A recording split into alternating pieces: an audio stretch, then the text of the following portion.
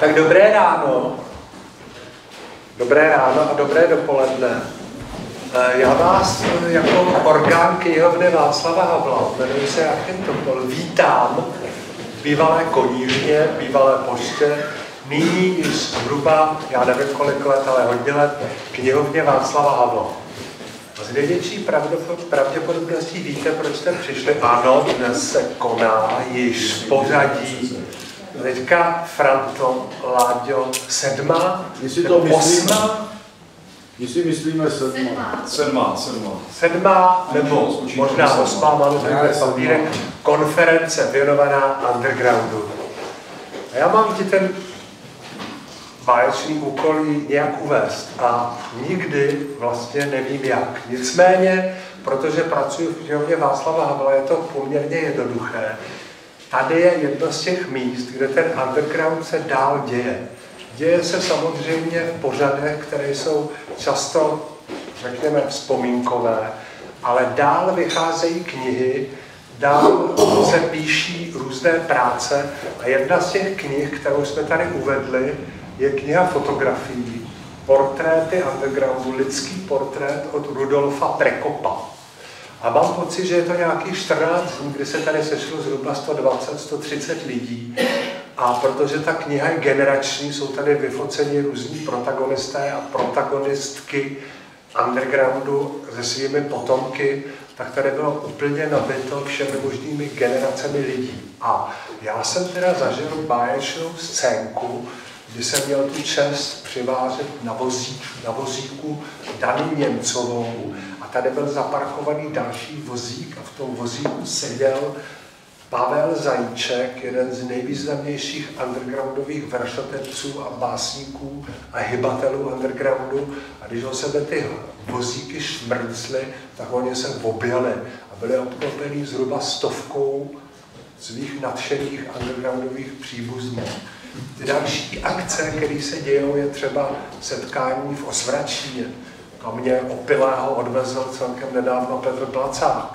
Eh, Každý rok se pořádá pochod za Magora. Já vás, přítomné vědátorky a vědátory, kteří většinou sedíte schrbeni ve svých pracovnách a luštíte starodávné listiny, vyzývám k tomu, abyste se toho pochodu zúčastnili s námi. Jde se spousta kilometrů krajinu Vysočiny a končí se v hospodě, nebo začíná se, to už si nepamatuju, v hospodě ve Staré říši. Další, další věci, které člověka napadají, když se kouká na ten program, nabitý program naší konference, je, že už toho bylo tolik zkoumáno, tolik napsáno, existuje ještě něco, čemu by se měly věnovat zapálené referáty, co se týká undergroundu. No, já musím říct, že když jsem byl ten 15-letý chlapec, nebo jak starý chlapec, který, se, který seděl u lednice s mámou v naší kuchyni a někdy v roce, tady je mnoho historiků, 75 nebo 76, jsme slyšeli, že jsou zavřeni ti čtyři vykřičení výtečníci. Vratislav Brabenec, Ivan Rous, Svatopluk Karásek, Pavel Zajíček, tak jako toho kluka mě potom, když jsem se tohle dozvěděl, nejvíc fascinovalo a vtáhlo do toho undergroundu ta, ten fakt, ta situace, že tihle lidé byli ohromně tvůrčí. To znamená, já jsem šel po té hudbě, šel jsem po těch verších Vrátě Brabence, Magora, Pavla Zajíčka, poslouchal jsem Karáska. Tím jenom chci říct, že mě vtáhlo vlastně to, co ty lidi dělali. Umění. A to si myslím, že je obrovský rozdíl třeba mezi hnutím revoluční mládeže, o kterém jsem taky věděl, taky jsem věděl, že ty lidi jsou zavření, ale nebylo tam nic, co by mě jako vtáhlo. A to umění, ta cizím slovem řečeno produkce, ta se děje neustále a dělá se. A já třeba si pamatuju, že nedávno jsem, jsem znova přečetl knížku od Karla Forsta z New Yorku do pekla a zpět.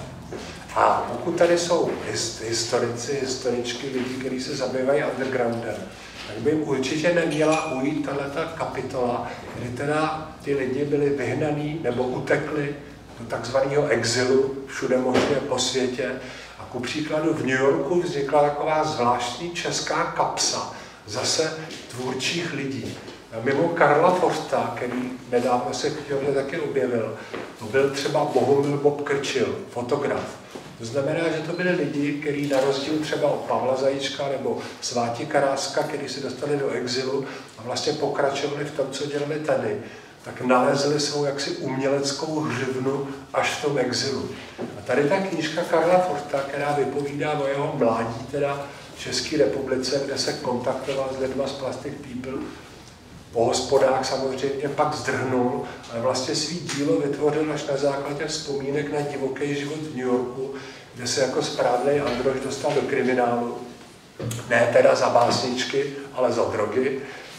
Takže on a Bohumil Bob Krčil a myslím, se našli desítky dalších lidí, kteří začali tvořit vlastně v tom exilu. Co ještě dalšího by se mohlo vynalézt? No, včera jsem tady dělal rozhovor rozhovor s Alžbětou Růžkovou, což je dcera spisovatele Pavla Růžka. Je to člověk, který umřel někdy eh, před, já nevím, 11 lety, bohužel se upil. A tenhle ten člověk, Pavel Růžek, eh, teďka vycházejí vycházej znova, jak, jak si jeho knihy, tahle ta kniha vyšla Nejčího dcery, vlastně svoje první knížky vydal za normalizace. Ale byl to prostě Androš. Myslím si, že je hrozně zajímavý, že ty hranice undergroundu byly vždycky prostupní, nebo aspoň pro mě byly prostupní. A tenhle ten člověk, který vyrůstal na severu, to znamená Most, Litvínov, Chomutov, tyhle ty pro Pražáka, čili asi pro mě strašlivý díry, na severu je ohromně plní tvůrčí kapsy. Další člověk z okruhu Pavla Růžka, mimořádně tvůrčí, já se nestydím říct, že je to jeden z nejpodstatnějších nebo nejpodstatnější básník současnosti. Se jmenuje Daniel Hradecký. A tyhle ty lidi vlastně se s tím undergroundem kontaktovali tak jako, tak jakoby na dálku. Ale Daniel Hradecký vydává teď, vydává doteď, žije pořád někde tam v tom okolí Litvínova, mostu Chomutova, říkám, pro mě, pro Pražáka, exotické části Čech. Tady v tomhle výčtu nesmím zapomenout na knížku, pro kterou jsem si teďka běžel do knihkupectví Ostrov. A bohužel knihkupectví Ostrov je takový hrozně pomalý, takže otvírá v 9.30 a v 10.30 nevěřím, že ti intelektuálové budou nakupovat knihy dřív. Na knížku, pro kterou se vám šel, je vlastně je knížka, pro kterou se vám šel, abych vám ji ukázal, když skoro nemůžu uvěřit, že ji dávno nemáte ve svých knihovničkách, napsal pražský Androš a je to Petr Placa. A ta knížka se jmenuje Škola svatého Norberta, nebo nějak tak. A je v ní já, já jsem to. Když Petr je tady, no Petře, to ten... Už ji zahodil dál. Ale v téhle té knížce máte detailně s obrovským humorem, s obrovskou intenzitou popsáno dětství a dospívání, který nutně musel vést do undergroundu. Já o tomhle té knížce dál mluvit nebudu, protože tady je autor, což je jako trošku zaskočilo. Pak si myslím, že docela zajímavá kapitola by mohla být cikánský underground. No. Nevím, jestli víte, že třeba, když jsme začali vydávat Revolver Revue, ještě teda, myslím, dávný undergroundový Revolver na cyklostylu, tak jeden z lidí, který nám pomáhal, byl Ruda Zurko, Rudolf Zurko, který o sobě vždycky říkal, že je cikánský malíř a taky cikánský ožrala samozřejmě. A v jedním z těch šťastných chvil nás třeba neproháněl se sekerou, tohle trošku nadsázka, co říkám, ale měl takovýhle stavy. A nám věnoval do revolver Revue takový vyprávěnky romský, který bychom s radostí uveřejnili. Bydlel v bytě u Markéty Písařovic a bylo to jedno z těch center, kde teda vznikal revolver. A teďka 4. listopadu u nás uvádíme knížku Patrika Bangy, což je teda mladý autor romský a je to výborný povídání o současných, o současných Romech, který, který dospívali na Žižkově. Takhle to jsou takový různý nápady, s kterými vy, děvci a děvkyně, si určitě poradíte. Já jsem se moc rozpovídal, protože když mluvím psaně, tak to prostě chvilku trvá. Takže já končím a poprosím teď Martina. Martina, končíš? a vás další, abyste se ujeli tady toho. Ještě, ještě máš povinnost zahájit konferenci tím, že slavnostně pověsíš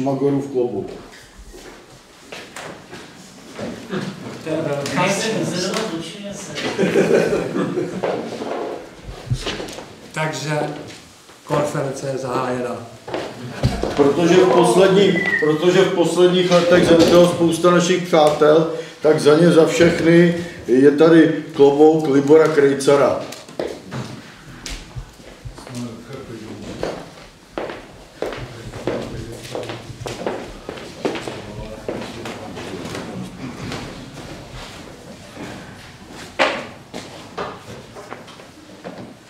Tak den. Mě Láďa eh, jak si pověřil úkolem, abych eh, tady to první dopoledne eh, moderoval, protože jakožto ředitel potřebuje odpočívat a podobně. Takže Láďo, pojď, pojď sem a nemyslí si, že tě budu šetřit. Tak, Martine, děkuji za slovo. Děkuji Achimovi za opět krásné zahájení naší sedmé konference o nejen českém undergroundu.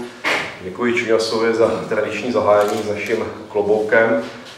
A já tedy začnu, už máme menší sklus. Takže eh, vážené dámy a pánové, milé kolegyně a kolegové, eh, můj referát zní eh, Den lidských práv, 10. prosinec 1987, a první politická demonstrace od srpna roku 1969. Lidé se přestanou ukrývat a projevují sympatie. Havel nečekal, že to bude tak velké a považuje to za výsledek dlouhodobé a mravenčí práce.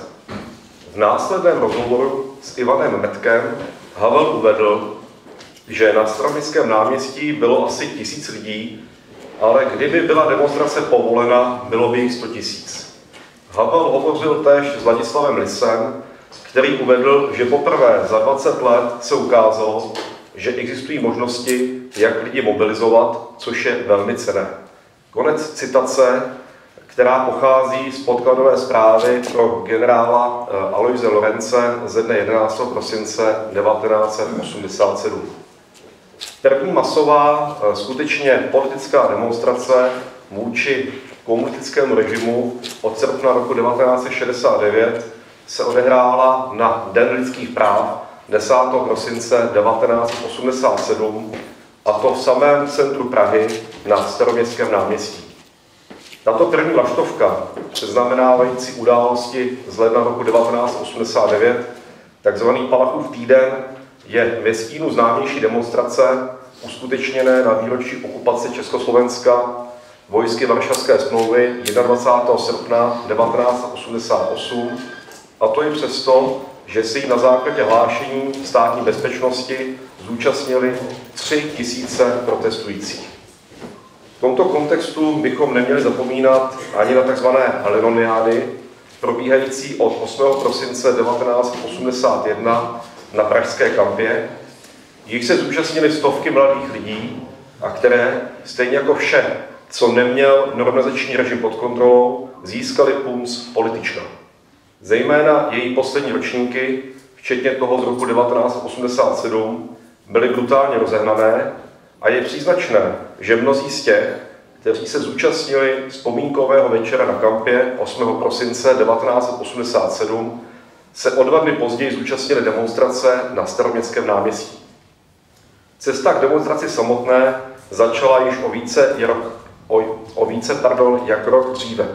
27. června 1986, kdy chartista Ladislav Cerman, který byl stěžení postavou chartistické a undergroundové komunity na Liberecku, napsal otevřený a velmi kritický dopis mluvčím charty, respektive chartovnímu společenství, v němž označil Chartu 77 za formální záležitost, v níž se veškerá moc nachází toliko v rukou mluvčích, zatímco neexistovala demokratická diskuze, což platilo i o nulových kontaktech s mimopražským světem.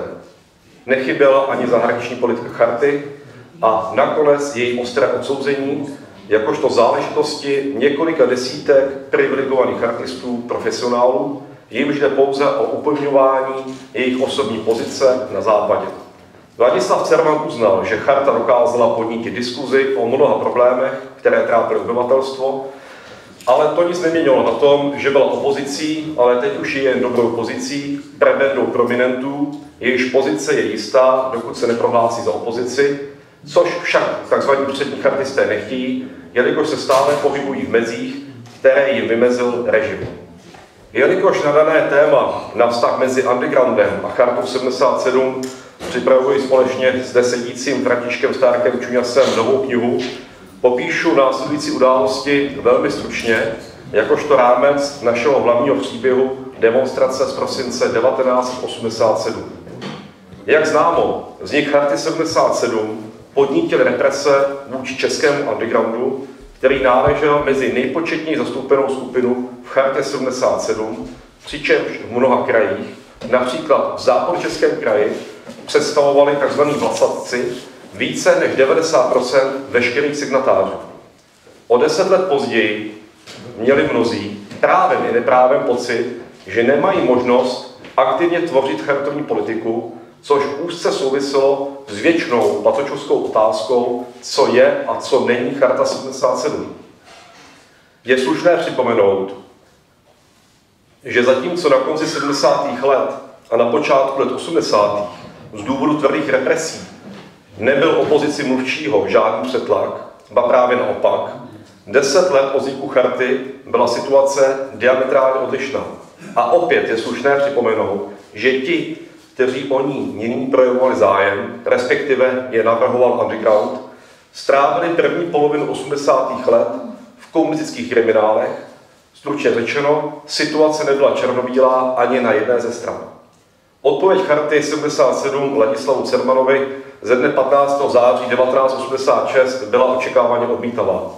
Pokud bylo chartě 77 vyčítáno, že nechce ustoupit ze zákonného odporu, respektive, že se v jejím případě nejedná o organizaci, natož o organizaci politického charakteru, mluvčí připomněli, že právě legální báze umožnila chartě přežít nejkritičtější okamžiky na počátku 80. let.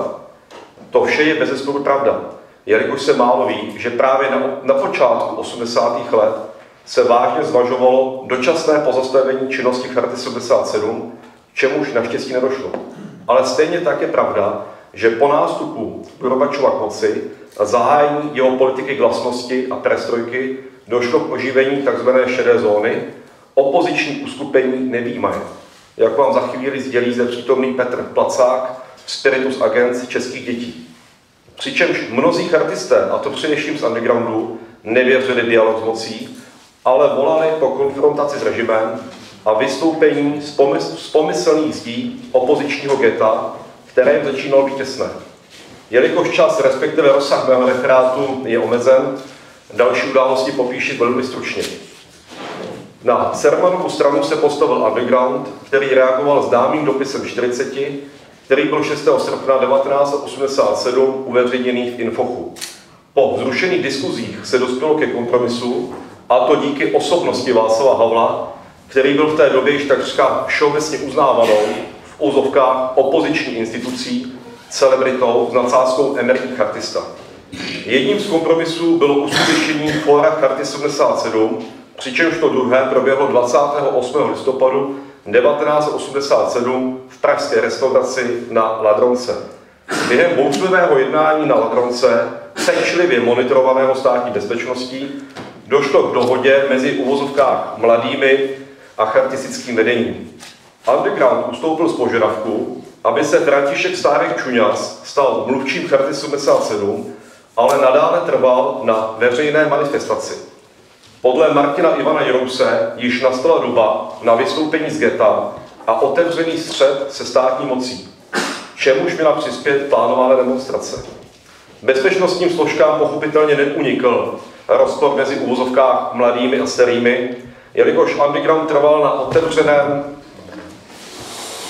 otevřeném odporu, a to bez ohledu na stávající právní normy, přičemž věřil, že aktivní přístup osloví mnohem více spolupčanů.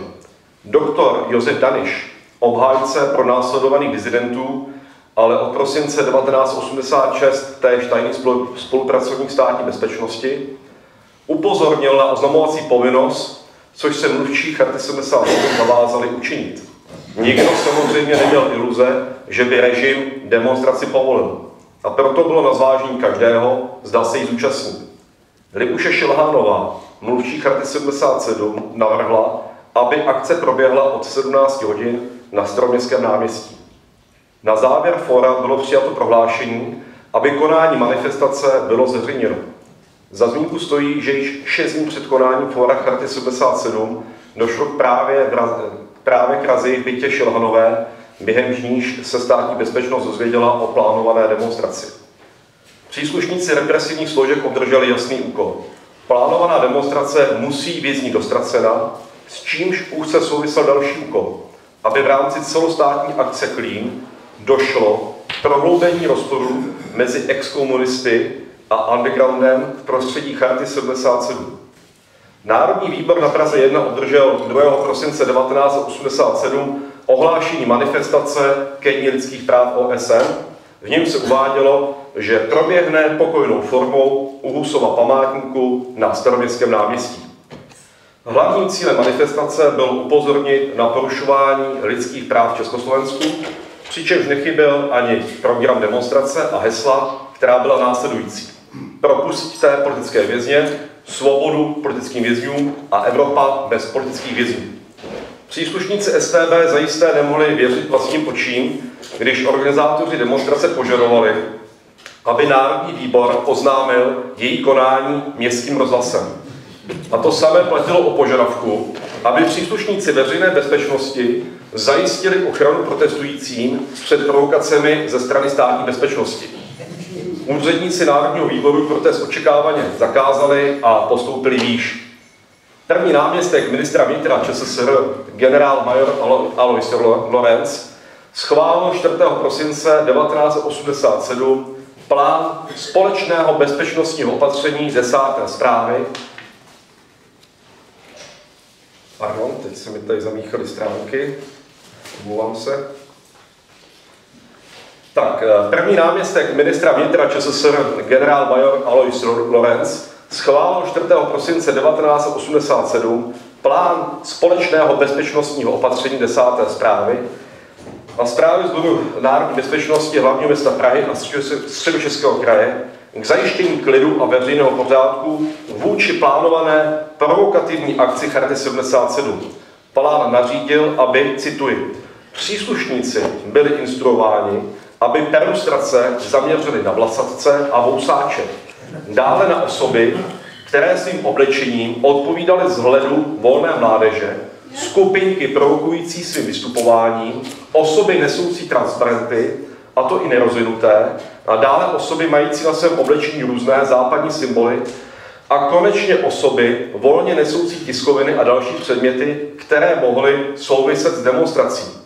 Operativní skupiny obdržely i seznam osob, které se opakovaně zúčastňovaly akce Lenon a dále seznam vytipovaných signatářů Charty 77. Konec citace. Od ranních hodin 8. prosince 1987 začalo nepřetržité sledování hlavních organizátorů, kteří měli být o dva dny později v 6 hodin ráno zadrženi a předvedeni podání vysvětlení. Jednalo se o 10 osob. Rudolfa Patěka, Františka Stárka Čuňase, Jiřího Gruntoráda, Ivana Lampera, Ladislava Lise, Jana Litoviského, Libuši Šelhánovou, Jiřího Rumla, Petra Úla a Josefa Bohryska. Všichni měli být zadrženi, drženi pardon, do 20-30 hodin. Do té doby měli příslušníci STB zjistit, kdo to ze západu řídí a platí.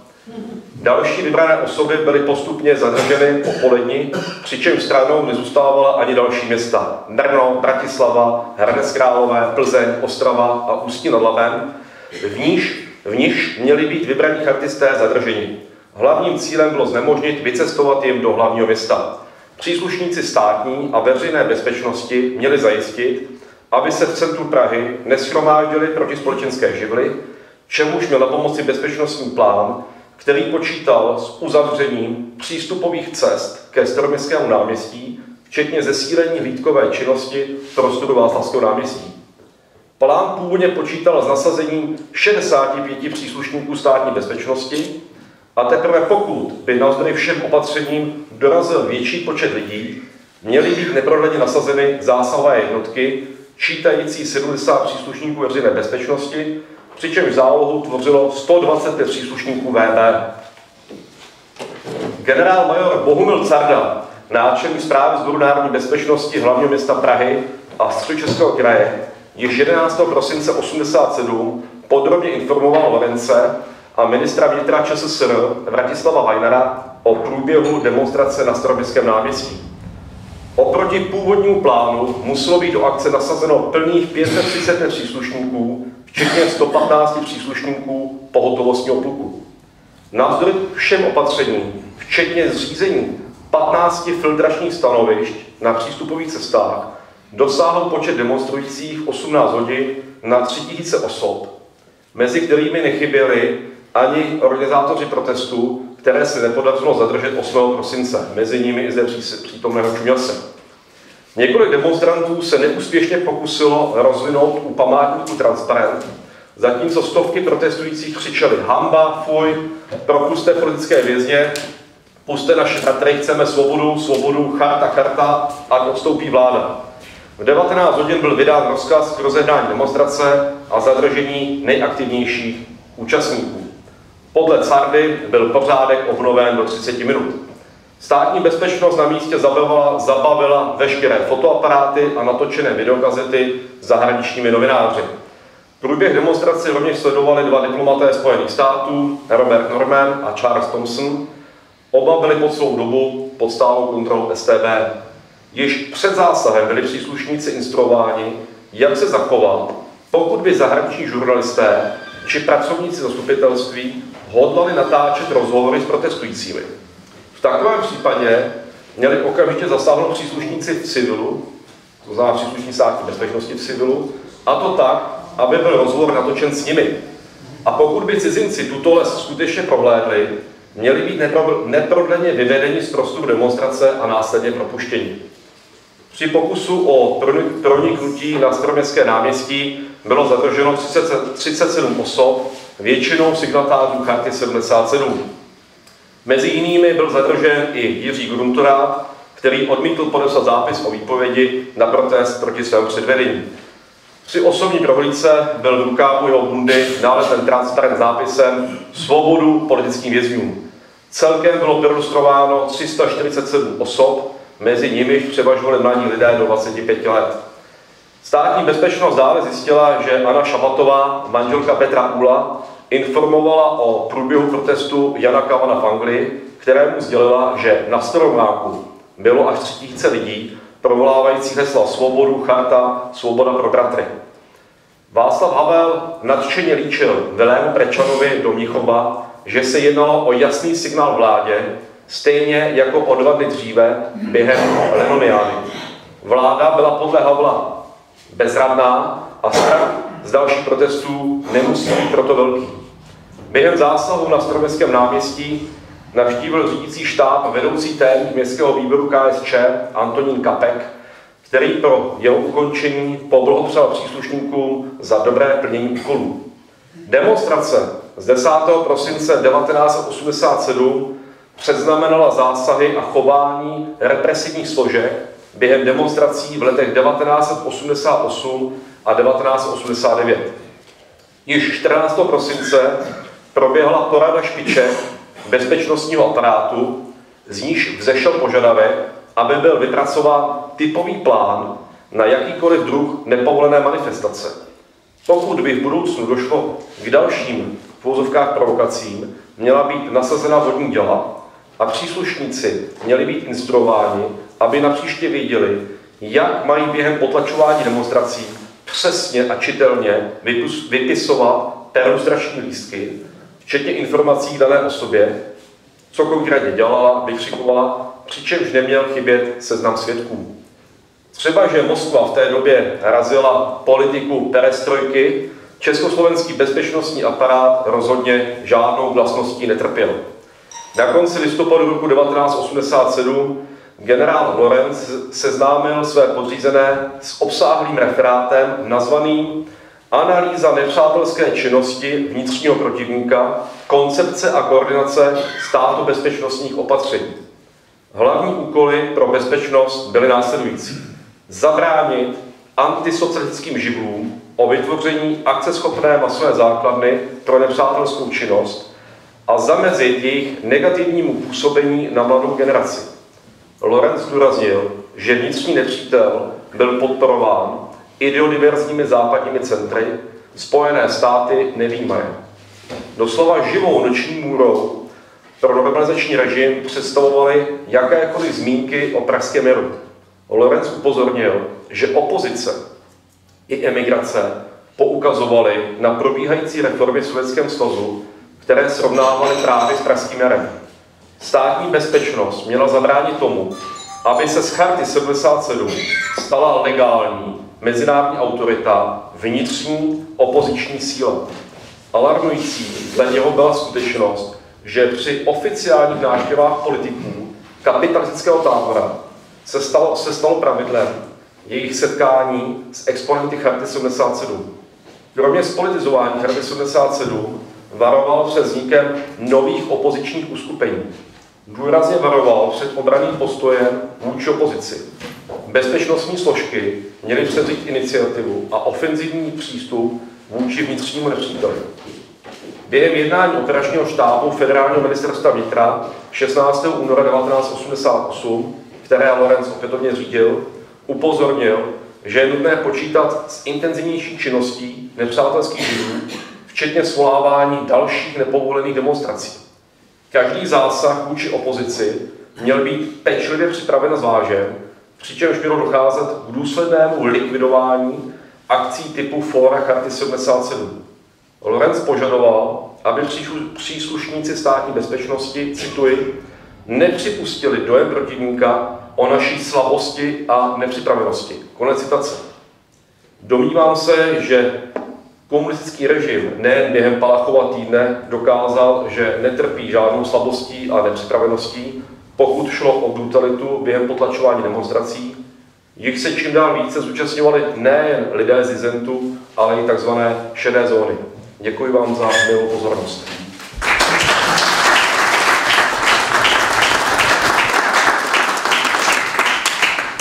Díky Láďo za perfektní příspěvek. O diskuzi necháme po těch čtyřech příspěvcích, nebo... Jo, jo, jo. jo dobrý.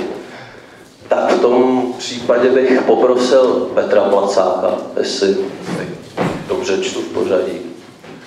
A Petr bude mít příspěvek České děti a Charta 77. Kdo tam není, je. Je.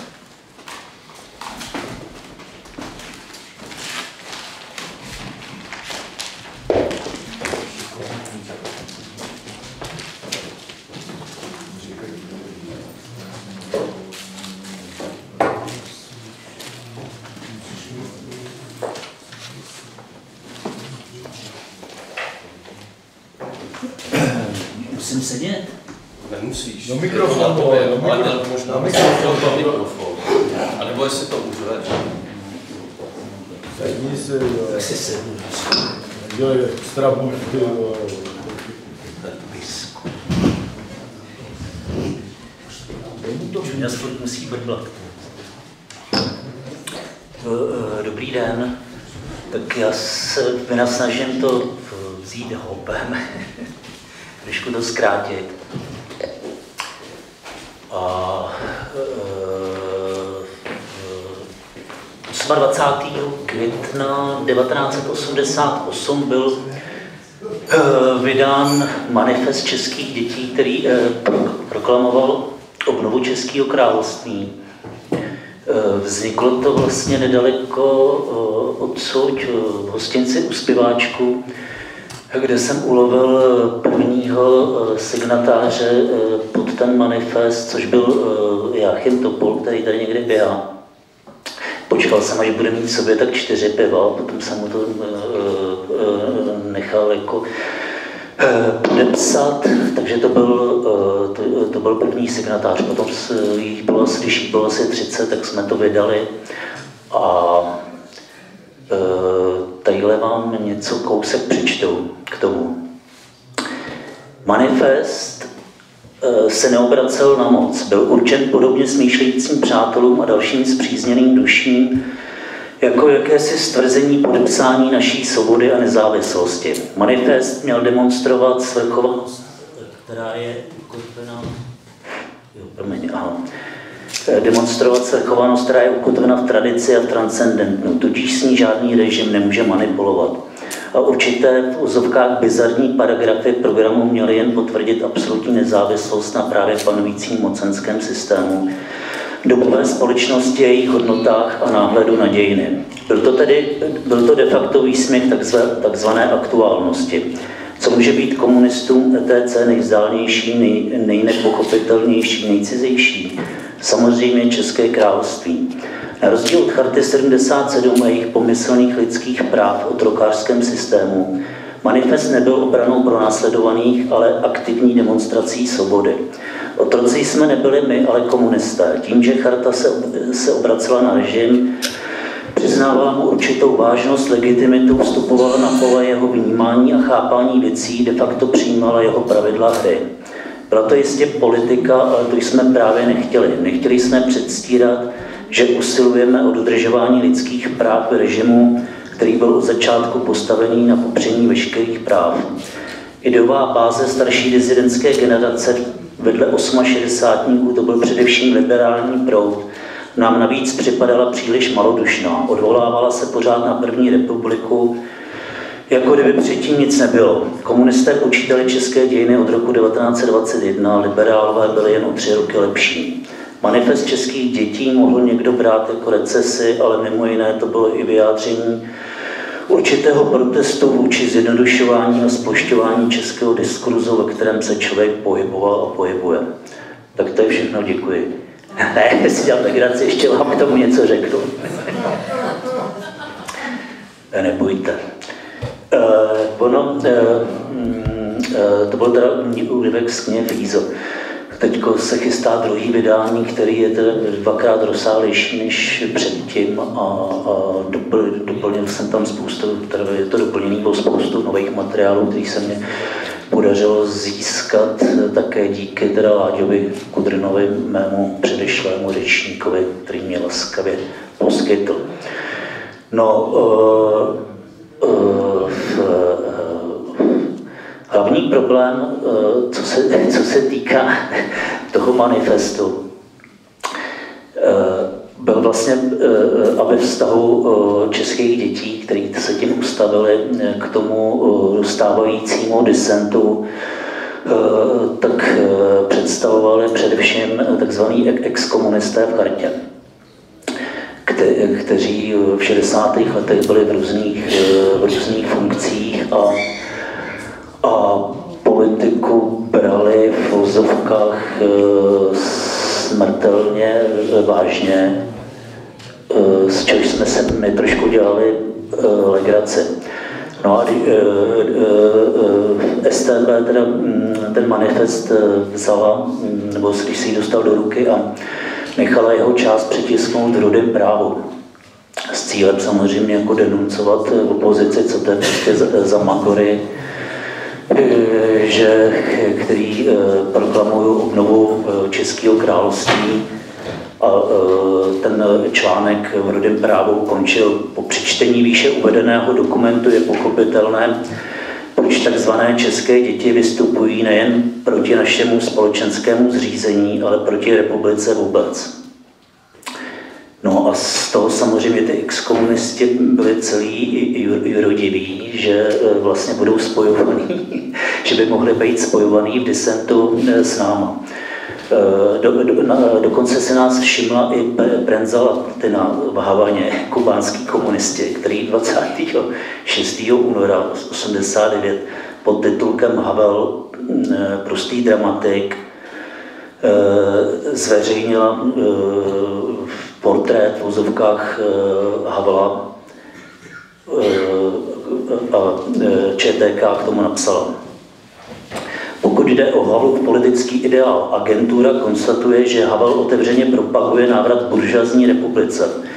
Je to nicméně, dodává Brenzalatina, poměrně umírněný postoj, vezmeme-li, vezmeme, vezmeme, vezmeme se v úvahu, že jedna z legálních skupin vzniklých kolem Havla, takzvané české děti, chce návrat k monarchii. No a e, e, e, já jsem měl třeba, eh, musím teda na adresu exkomunistů, kteří teda brblali, že, že jsou spojovaní eh, s, s českýma dětma, ale jenom brblali. Eh, na, musím uznat, že, mm, že vlastně nás postupem času přijali za legitimní součást československé opozice což byl z jejich strany, myslím, opravdu obrovský výkon. to myslím bez legrace.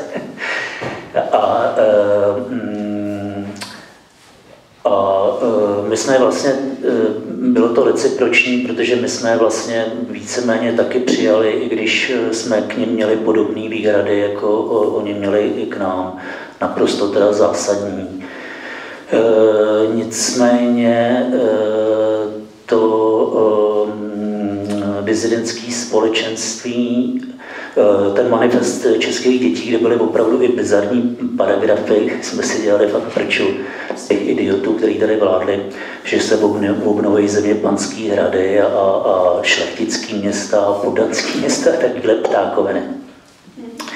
Tak to skutečně vyšlo v hlavním, v hlavním časopise tehdejší opozice v Infochu a hlavně opozice československého exilu eh, ve svědectví v Paříži. Takže eh, i, i s tím, že vlastně ten režim to může proti té opozici zneužít což se samozřejmě pokusil tady tím, jak, jak to vydal v tom rudém právu, ale jako, jako spousta jiných věcí, tak to mělo zcela opačný efekt. Jo. My jsme se stali rázem, protože když to bylo na druhé straně rudého práva, tam bylo prohlášení e, dojiček, e, nějakých závazků socialistických brigád a tak dále. A vedle toho byl prostě manifest českých dětí, kus, jakože e, obnovujeme Český království a očekáváme příklad nového krále a tak dále, tak, tak to bylo opravdu si myslím pro spoustu lidí tak, takové, taková svěží básnička, nebo jak bych to nazval, v tom šedivém odporném režimu, kde se, kde se prostě nic nehlo. No, ale potom samozřejmě vznikaly, vznikaly problémy technického nebo politického rázu. Jedním z nich byla, byla konspirace. A ta, ta starší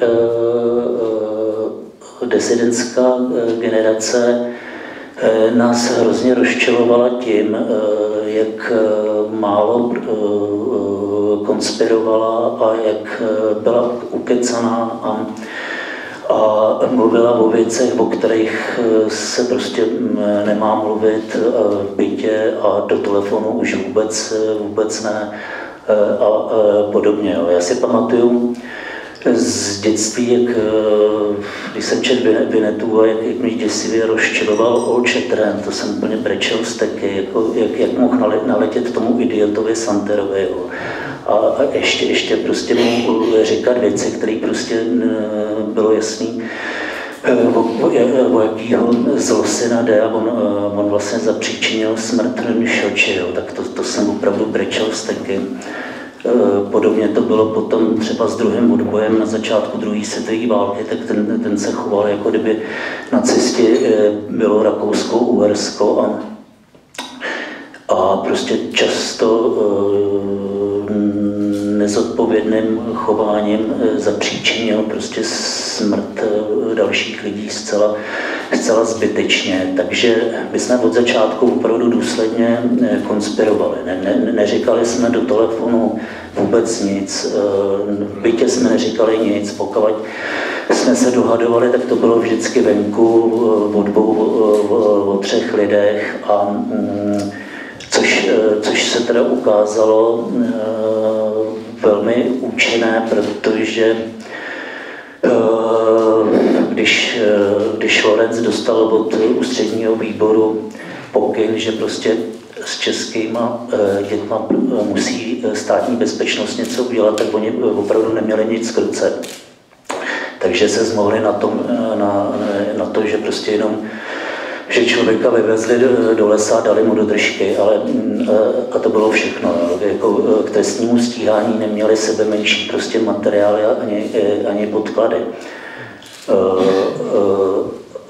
To, v tomhle tom jsme byli dobrý i třeba v porovnání s nezávislým mírovým združením, s kterým jsme se vlastně sešli 21. srpna 88 na demonstraci zcela nezávisle Eh, eh, na sobě. Eh, protože NEMA se prostě schůzovalo a samozřejmě na těch schůzích byli agenti státní bezpečnosti a, a STB vlastně měla úplně detailní, detailní popis, co NEMA dělá, co, co NEMA se chystá. Já jsem za celou tu dobu těch rok, toho roku a půl, co jsme teda dělali různé ty demonstrace v Praze, tak vlastně jsem narazil na jedinýho agenta státní bezpečnosti e, v mém okolí. A to byl e, karlovarský básník e, Miroslav Jirec, což byl děsivý pako, který ovšem STB říkal jenom výběrové informace a takový ty zásadní jim neřekl třeba to, že on dělal hlídače na autobusovém nádraží na Florence, kde jsme prostě v noci tiskli eh, mimo jiný eh, ten českých dětí, zavařili jsme tam eh, před tou kopírku, která stála tehdy děsivý prachy a to v těch spisech prostě nikdy nebylo, tak to, to, jim, to jim prostě nikdy neprás. A samozřejmě já jsem si ani žádný věci nedomlouval a tak dále. Takže konspirace byla jedna, jedna taková technická potíž. 21. Eh, srpen 88 jsme připravovali sami úplně mimo, mimo chartovní struktury, takže eh, eh, roz, rozhodili se letáky a tak dále. Samozřejmě moc věděla, že se něco chystá, ale nevěděla vůbec co. Takže prostě několik hodin po začátku té demonstrace nebyli schopni nás rozehnat. To bylo, byla úžasná demonstrace, několik tisíc lidí pochodovalo centrem Prahy asi čtyři hodiny, než se jim podařilo prostě dát dohromady ty pohotovostní oddíly. No a potom, jakmile jsme se spojili teda s tím 28. Eh, říjen jako s, s kartou na, na tu další velkou demonstraci, tak už prostě všichni, eh, všichni o všem věděli a, a, a teda myslím estebáci. Eh, takže to nás opravdu rozčilovalo a potom jsme se museli smát, že mm, eh, hodně lidí z toho chartovního prostředí tak, tak, eh, tak si eh, tak mělo vydupanou takovou tu opoziční cestičku, že prostě, že, že se píšou vlastní věci a občas se vydá nějaký prohlášení a občas jsou pozvaný na, na STB a tam jim řeknou ty, ty, ty, tak takhle ne tak, eh, tak oni zase jako to eh, udělají jinak a tak dále. No a s, eh, s, těma, s těma demonstracemi to najednou to, to přestalo, protože ten, kdo se před demonstrací nepotopil, což znamená, že se nepřestal se zdržovat v místě svého bydliště nebo, nebo, nech, nebo v práci, tak takové stebáci sebrali 48 hodin před konáním demonstrace a Samozřejmě eh, ta starší eh, disidentská generace část, která jí to dávala za, za, vinu, za vinu nám, jakože eh, že jsme to spískali my. No, byla to teda především ta, ta exkomunistická část charty, Eh, takový ty lidi z, z těch 68. roku, který se potom uh, houfovali kolem obrody. Uh, Tady vám přečtu třeba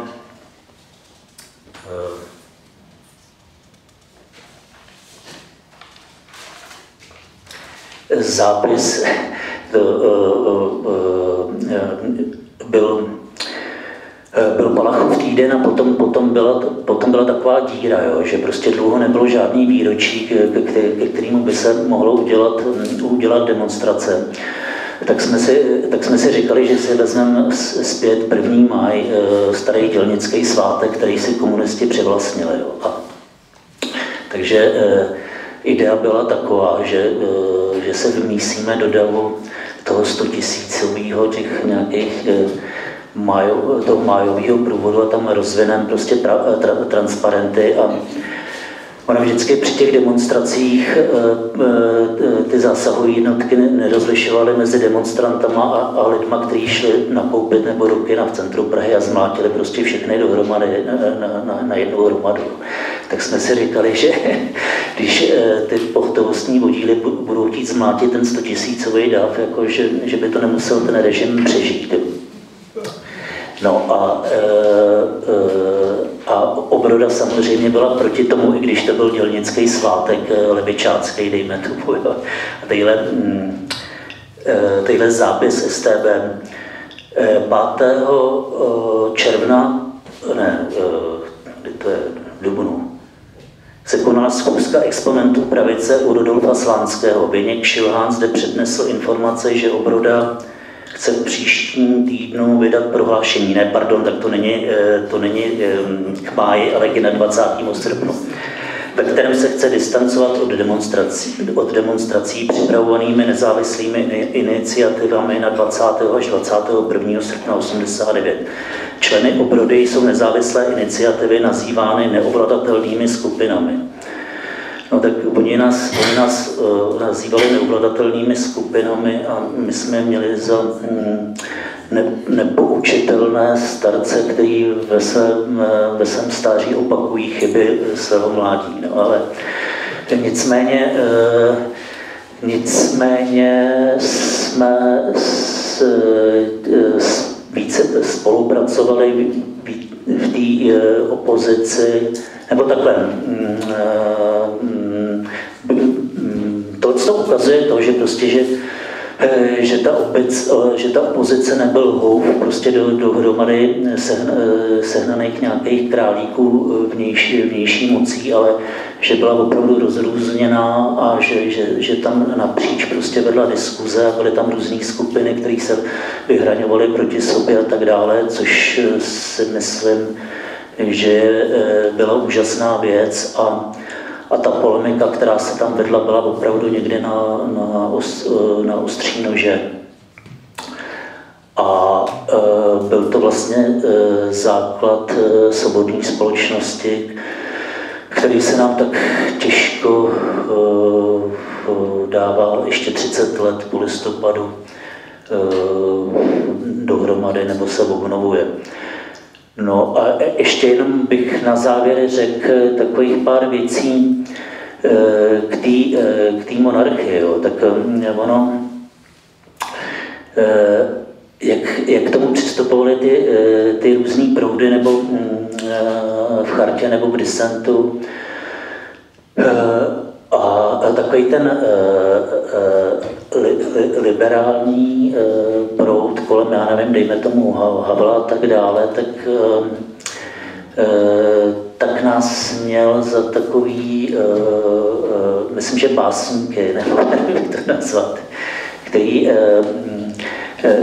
který že, že ten manifest je taková jako poezie, která Eh, která je ovšem eh, legitimní součástí toho nezávislého prostředí, což jsme teda potom trošku rušili těma, eh, těma demonstracemi, no, že, že, to, že, to, že to není jenom poezie.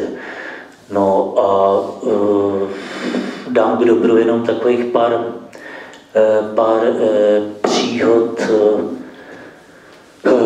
jak, jak, jak to fungovalo mm, po, po 28. říjnu 88 po té demonstraci, tak jsme měli sraz eh, v restauraci Olympie na, na, na úvězdě.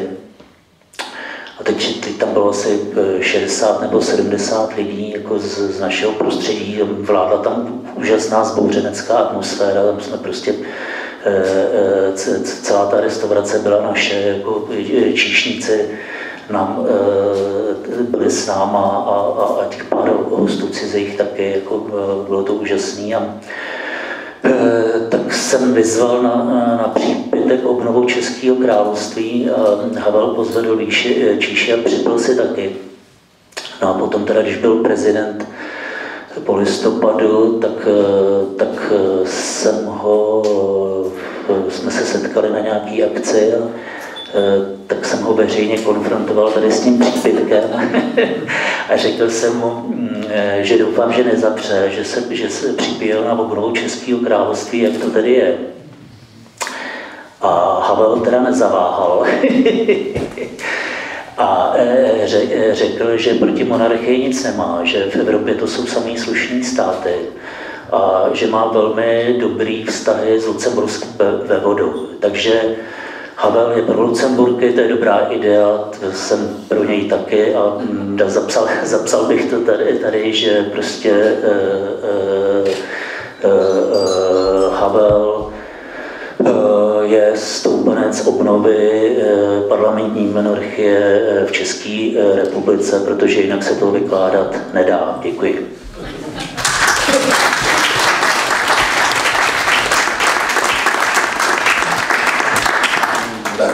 Děkujeme Petrovi za pěkný příspěvek a míří sem Čuňas. Máš slovo, Čuňas. Nejseš Petr Placa.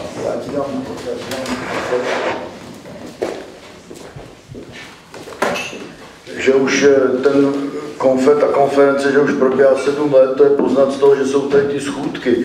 Před sedmi lety by nikoho nenapadlo dát se schůdky. To jsme ještě lezli na jeviště na, na, na, první dobrou. Eh, tak eh, já mám příspěvek, který se týká okna, čeho jiného taky. To se mi stalo nějak v životě eh, nejbližší a už jsem s tím nějak hodně spo, s, spojovaný, takže eh, když někdo chce, abych něco někde řekl, tak to je vždycky o oknu. No. Eh, okno jako instituce se jmenuje můj příspěvek, je to tak trochu protimluv, protože samozřejmě, že žádná instituce okno nikdy není a ne, nikdy nebylo, ale určitý prvky eh, institucionalizování jsme potřebovali, protože už od začátku eh, existence časopisu Okno jsme nefungovali jako, jako standardní samizdat, tedy samizdat, který se napíše a někdo ho rozepisuje a dál, a dál se šíří e, nekontrolovatelně jako e, taková ta, e, ty, ty čaty, básně a knihy, které probíhaly v těch eh, strojopisných exemplářích.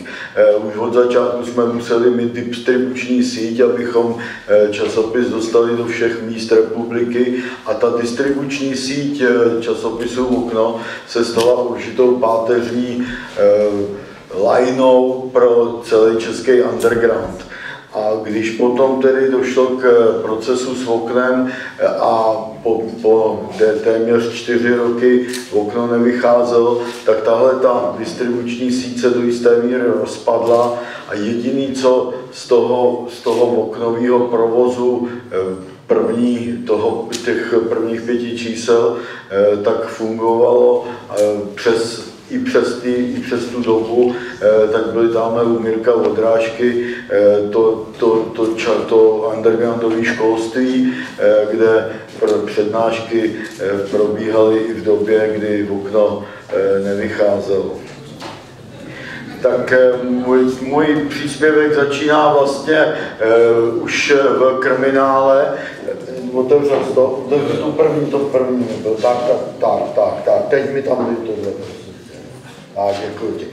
Tak teďka vidíte, eh, vidíte titulní stránku sedmého čísla okna eh, a tahle ta stránka už potom, eh, už potom provází v okno po celou dobu až do revoluce, až do roku 89 i po ještě, ještě po, po revoluci, po roce, ještě v roce 90 takhle vycházelo okno.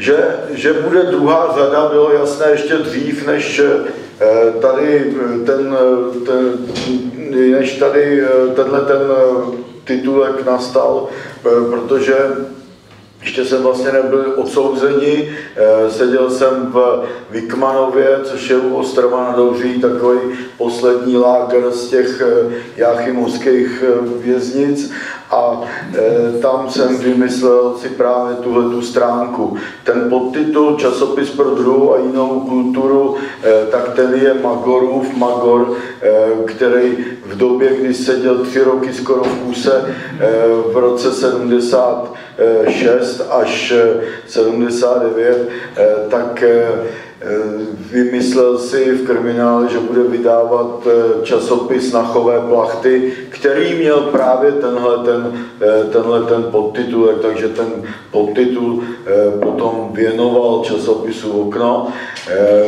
Časopis pro druhou a jinou kulturu měl do jisté míry taky pro, jaksi dávat na vědomí to, že eh, se otvíráme, protože eh, nám stále eh, někdo předhazoval, že jsme sektáři, a tak jako do jisté míry jsme byli taky. Že? Ale ta jiná kultura tam byla, což akceptoval pak třeba i Chadima.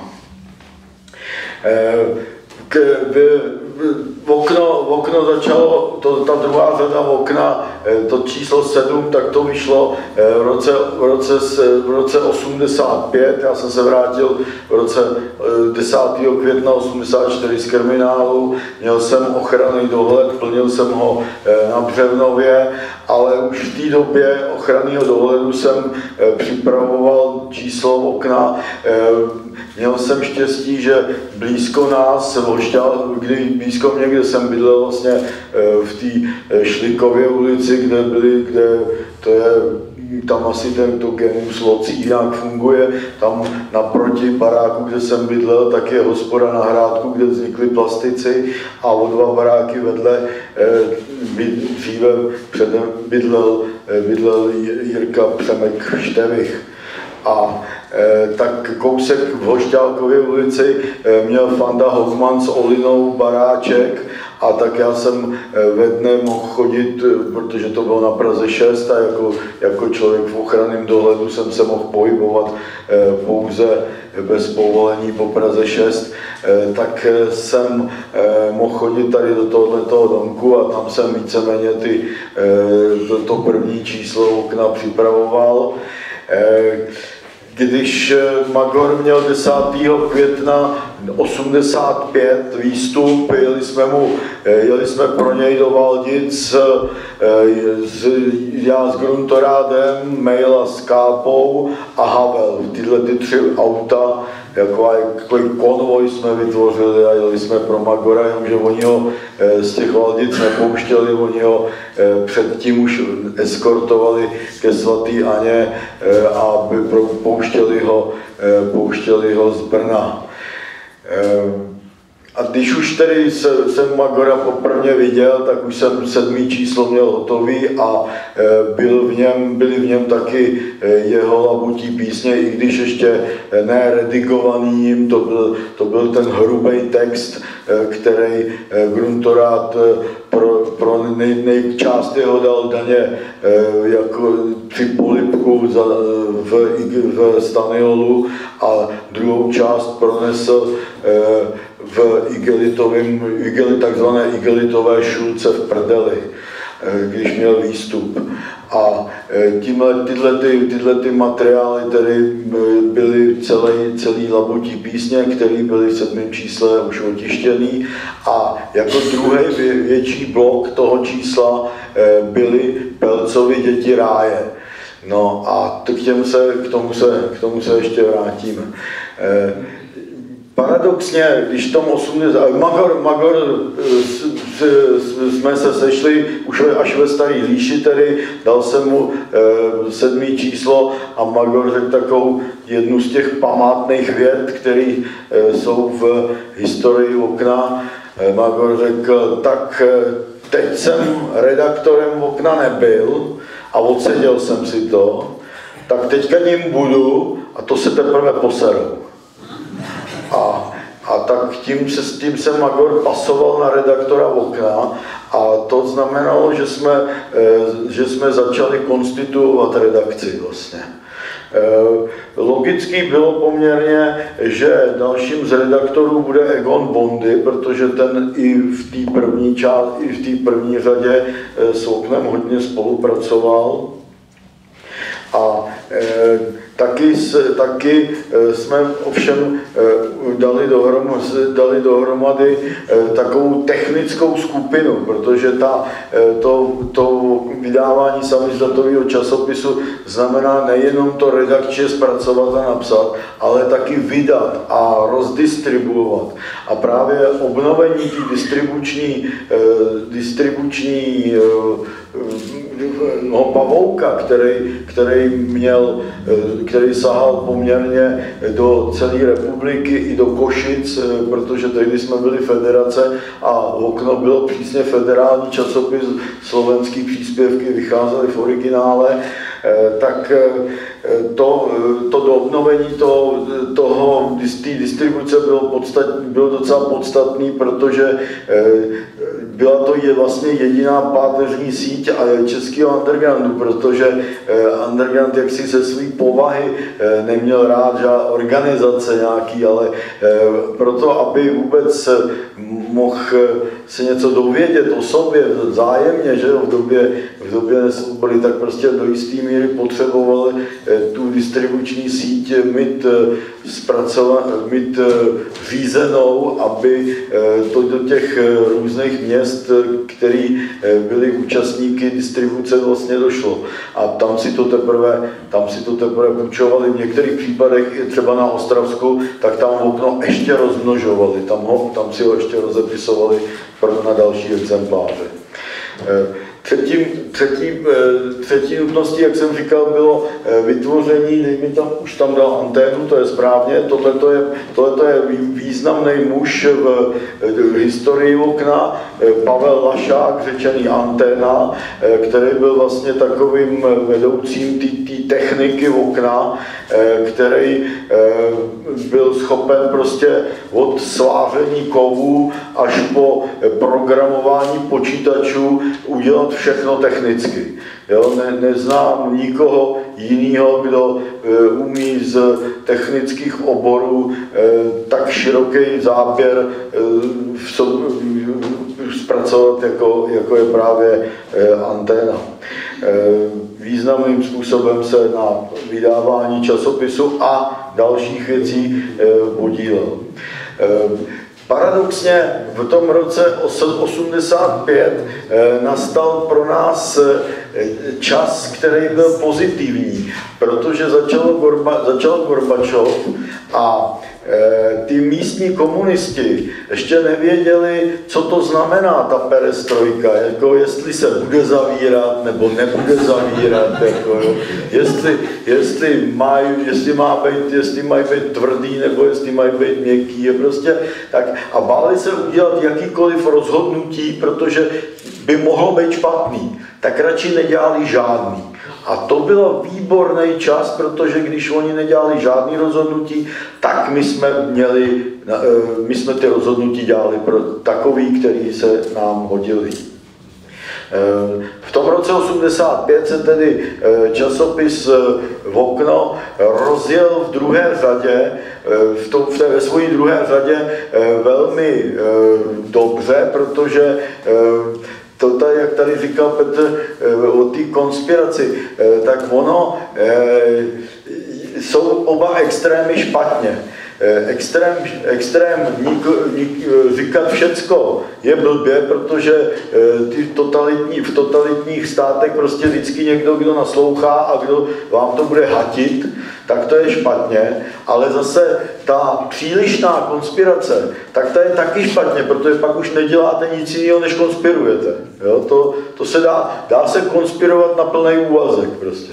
Zatím, ale pak už neuděláte nic, takže bylo nutné dělat takovou váhu, jako jo, konspirovat, ale jenom do jisté míry, pracovat i s, za, i, i, i s tím, že se musí konspirovat. Tak, eh, takže tohle to se v tom roce 85 jako do jisté míry vychýlilo ve prospěch práce, protože eh, ta, ta politická situace byla, byla eh, taky vychýlená eh, tím, že eh, ani estébáci nedělali žádný, žádný velký zátahy a čekalo se, co teda se stane. Potom chtěl Gorbačov a řekl jim zase, je to vaše dělo a pak už zavírali a normálně už to běželo tak jako za socialismu to má být. Že? No. Eh, v té době, v té době jsme ale ovšem si, si řekli, že se, že se můžeme, že se můžeme jako víc, víc rozpročit. Už v první, už v první uh, lajně okna do 1 až 5, uh, tak jsme vlastně při čísle, čísle 4, při čísle, nebo při čísle 5, Mirku, při kterém čísle jsme vydali ty Havlovy hry, já už teď nevím, buď to při, či, při čtyřce nebo při pětce jsme vydali první, první číslo knižnice okna. Byly to hry Václava, a hry Václava Havla, vernisáž, audience a protest. Ty hry jsem vybral já, to si, to si jako, jako velkou literární eh, prozíravost eh, si to chci připsat, protože potom přesně za tyhle ty tři hry dostal Havel to pár dobu cenu. Jako, no, takže chtěl, až, až budete psát mi nekrolog, tak to tam prosím napište. A, e, takže knižnice, knižnice, pojď mi, rozjela se knižnice časopisu Okno ta, ta se, eh, ta, tam, tam měla dvoje, dva druhy. Jedna, která knihy, to je v prostřed to, co tam nevidíte, co tam je napsané, eh, tak to, tak to je eh, Egon Bondy, básnické dílo. Martin Machovec tady není zatím, ale ten, ten prostě se snažil udělat, protože těch přepisů různých a, a, a, a kiksů v těch přepisech bylo moc, tak se snažil udělat kritické vydání. A e, to jsme v několika svazcích začali vydávat e, to, to Bondyho, Bondyho básnické dílo. Potom byly, potom byly knihy, které jsme skutečně vydávali, jako jsou třeba tam ty povídky, protože já jsem zjistil, že e, se všichni vydávali básně. Ono se to totiž lehce psalo, to, ne, to je řídký text, jo? ale próza, do toho se nikomu moc nechtělo. Takže jsme dělali povídky, tam, vše, tam ta občanský průkaz, prosím, tak to jsou, to je kniha povídek. Jo? A e, ta třetí to jsou bojovníci a trpitelé od Balabána a to je, to je, to je ukázka toho, že okno dělalo čepici. E, když oni, některý lidi, když e, vydali si nějakou knížku, chtěli vydat, tak přišli za mnou a řekli, hele, my si to sami, my si to sami rozmnožíme, jo, ale my se bojíme, aby to na nás nepřišlo, tak dejte tam beren do okna. No a my jsme prostě eh, to, to jak si vzali pod sebe, třeba právě toho Balabána, jsme vzali pod sebe a vydali jsme to, jako by to vydalo okno, ale e, naše, e, naše jak, vlastní, vlastní sádlo jsme u toho nepotili teda, jo. Takže, takže to, byly, to bylo taky, ta knižnice takhle, takhle probíhala a e, ta, ta tedy jela po celou, po celou dobu 85 až 89. E, dalším, dalším počinem e, byly oknoviny. My jsme vždycky ve oknu, ve oknu měli takovou rubriku aktuality, která zahrnovala to, co se, to, co se stalo. V, ukázalo se, že ty okna, jak tloustly, jak byly pořád tluščí a, ta, a vydá, vycházely tak jednou za půl roku. Takže ty aktuality jsou úplná kravina v nich, protože uh, už vůbec aktuální nebyly. A tak, jsem, tak jsme tu rubriku aktuality prostě od okna, od okna utrhli. Uh, dělali jsme, takhle to mělo, takhle, takhle vypadala ta první stránka, dávali jsme tam naplno naše adresy, je tam je já, Magor a Bondy, adresy, do, adresy domů, kdo jsou vydavatelé to, a e, aby, nám mohli, aby nám lidi mohli psát, protože tehdy už to nebylo otázkou, e, otázkou, e, jestli se STB doví, že děláme okno nebo ne. To samozřejmě věděli, že ho děláme. Bylo otázkou politickou, jestli nás zavřou nebo ne. To bylo to bylo jednoznačné. Takže nějak e, schovávat adresy, to bychom schovávali jenom proti našim čtenářům, že jo? Tak STB to stejně věděl. E, takže, takže takhle, takhle vypadalo, vypadalo to oknoviny, jo, tam jsme ty vo, to, to no, jsme si jaksi zdvojili a, a vznikly okno noviny, oknoviny. A vydávali jsme to jednou za měsíc, ale v plný, na plný knedlik. Plný knedlik to znamenalo, že ten balík papíru, který tehdy prodávali za 17 korun, eh, pětistovka papíru, tak se celá, celá ta pětistovka se potiskla.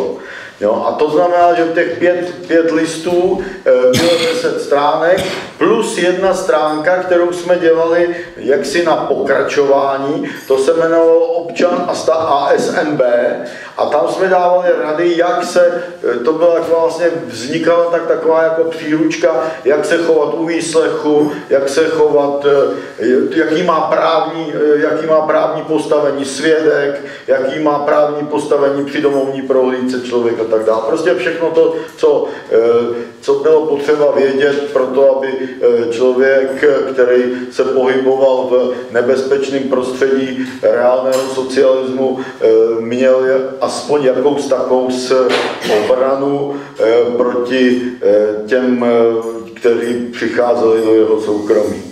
Tak eh, tohle ty oknoviny, ty se posílaly, ty se rozesílaly poštou. Veselá historka z natáčení je ta, že já jsem e, dělal topiče samozřejmě, týden jsem měl práci, týden volno. E, když jsem ve Třebových, jsem tehdy bydlel, e, tak e, můj syn Kuba e, nemusel jako čtyřletý chodit do školky, když jsem měl to volno, že? takže chodil vždycky jenom, když jsem topil a e, On, mi, já, on si hrál a já jsem lepil, já jsem zalepoval ty obálky. Když ho to přestalo bavit, to hraní, tak přišel ke mně a, a že mi bude pomáhat a tak jsem mu, tak jsem mu dal známky, aby nalízával známky a lepil je na obálky. A já jsem tam dával, do těch obálek jsem dával oknoviny a zalepoval jsem, zalepoval jsem je, aby byly zavřený. Když potom udělali expertízu slin z těch obálky, tak zjistili, že to dělali dva muži. Jeden, kr, jeden měl krevní skupinu 0, tu mám já, a druhý měl z krevní skupinu, nevím, co má Kuba B, nebo co, a to. A takže na něj přišli a jenom na jeho krevní skupinu byli mu 4 tehdy. Eh, tak eh, eh, já to nevidím tady. Jo, částečně už jsem mluvil tady o školství, který probíhalo, který probíhalo v Umirka a i ve Vodrážkových v Templově ulici. V, okno, v okno se tohohle toho, jak si účastnilo, brali jsme to jako za svý a moje, eh, vydávali jsme, vydávali jsme eh, k tomu účelu jsme vydávali taky skripta. To byl, tohle to je uh, Gar Gustava Junga, tehdy, tehdy ne osoba, tak k přednáškám, které se týkaly, jo, tak, jsou, tak jsme si vydali vlastní skripta. Eh, školství probíhalo bezvadně, eh, veselá historka z natáčení je tady, jsme dělali histori- dějiny kultu, tak eh, taky došlo na schizmu, tak my jsme se vždycky zvali, nevím, zenovýho mistra, když, když o, o co šlo, tak prostě tam jsme zvali někoho k tomu, a, a nebo, e, nebo rabína, že jo, a tak na židovství. A tady na schizmu jsme tedy pozval náš takovým jako tří, jeden z třídních učitelů byl, byl Balabán a jako druhýho proti němu tak jsme pozvali Václava Malýho. No a oni tak jako oba kamarádi z charty, že jo, tak, tak, tak, tak úplně nili, jako ty drobné rozdíly mezi našimi, to, a, a, a, to my jsme nechtěli, my jsme chtěli tu schizmu vidět, jak se perou, jak vraždy, jak se vraždí, že jo, tak, a, a to nebylo vidět, ale tak jsme otá, při diskuzi, tak jsme tlačili těma otázkama opravdu a skutečně se to povedlo, nakonec, nakonec Balabán tlouk pěstí do stolu a křičel, já už bych vydržel i, i neomylnost papeže, ale neposkornělý početí je blbost. no. Tak to bylo, to bylo školství a e.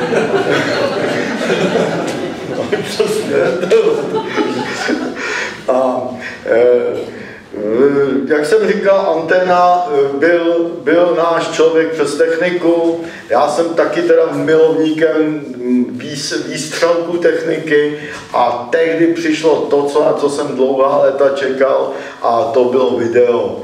Eh, protože jsme nikdy v těm samizdatových dobách nebyli schopni kopírovat barevného něco, jo? kopírovat, udělat barevnou fotografii, to v domácích podmínkách bylo hrozně složité, měl jenom Petr Prokeš, to uměl, jo? a to prostě, to prostě bylo neuvěřitelně těžké udělat do těch, my jsme dělali to okno ve 380 kusech, takže udělat 380 barevných fotografií, to, to prostě byly peníze, které to okno už nebylo schopno, schopno prostě absorbovat v, v ceně, která, která tehdy byla 50 korun toho časopisu. A takže najednou přišlo video a to s tím přišlo úplně jiná, jiná kategorie, protože najednou jsme byli schopni eh, kopírovat barevný film, že jo, vlastně jsme konkurovat televizi, byli možný, jo. takže jsme dělali tříhodinové kazety, videomagazín Okna, eh, který eh, začínali jsme tím, že, že Honza Kašpar, který měl kam, videokameru na ještě tehdy neexistující originál videožurnál, tak nám natočil, jediný, co jsme k tomu natočili, byl vlastně ten úvodník, který jsem tam řekl. Jo? A uh, všechno ostatní byl, už jsme jenom, jenom stáčeli a uh, titulky jsme dělali právě tam, jak se dělal anténa, ještě to vrát na anténu, prosím tě tak tam sedí, jo, jo, jo, tam sedí u to, tohle to, co u čeho sedí, tak to je počítač Sinclair Spectrum, eh, takzvaný gumák, který 8-bitový počítač, eh, který eh, nám takový dětský počítač v podstatě, ale nám ho koupil Tigrit a anténa, který byl, který byl jako geniální technik, tak s ním uměl úplně neuvěřitelné věci, ještě s Jirkou Včelákem, oni byli schopni udělat diakritiku, což potom udělali nějaký kamenický a v těch kamenických to se potom léta, léta se v tom ta diakritika psala, ale oni tu diakritiku udělali dávno před nima. My jsme uh, otitulkovávali videomagazín Okna i s háčkama a čárkama. A já jsem se uh, drze posmíval na západ, který dělali Británii, kde se dělal Británii videomagazín Exilovej, tak jsem se jim drze posmíval, že nemají čárky a háčky a čárky. Jo.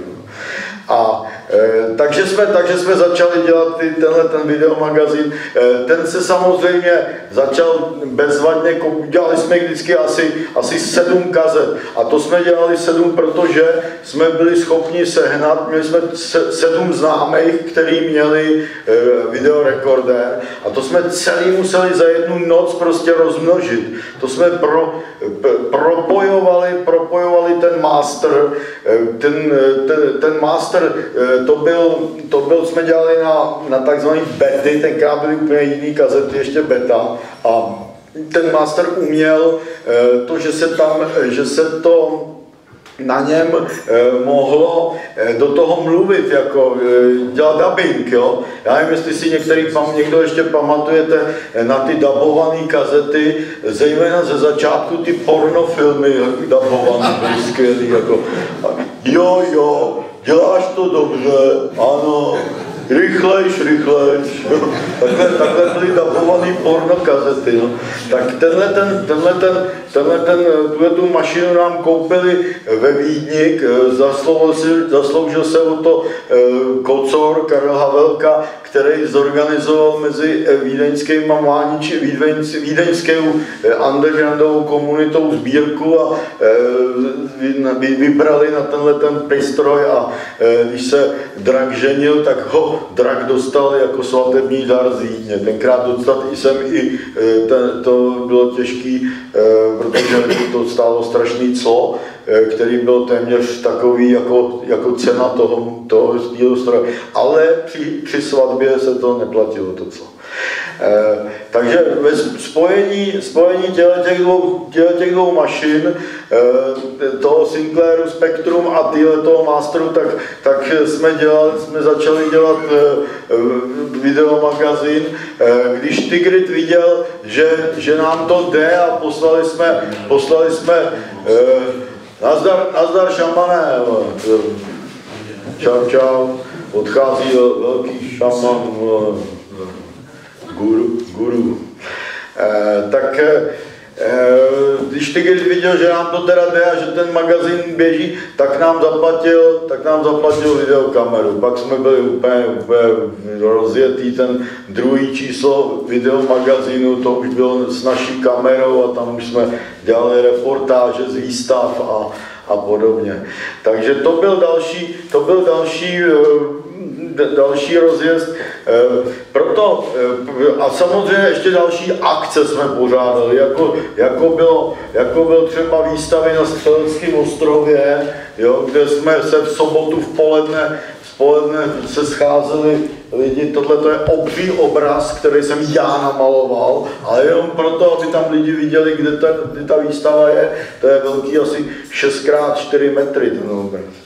A další věc, kterou jsme, kterou jsme uspořádali, eh, byl parník. Pronajali jsme si parník, aby pankáčema, protože eh, tehdy policie šla hlavně po pankáčských koncertech, tak dělali jsme na parníku zejména pankáče, ale myslím, že tady Honza, Honza, Honza Cholínský, který bude mít pak taky bude kousek toho pouštět, protože e, mi psal, abych mu to, ten, ten nebude, záznam... Nebude, má covid, leží doma s covidem.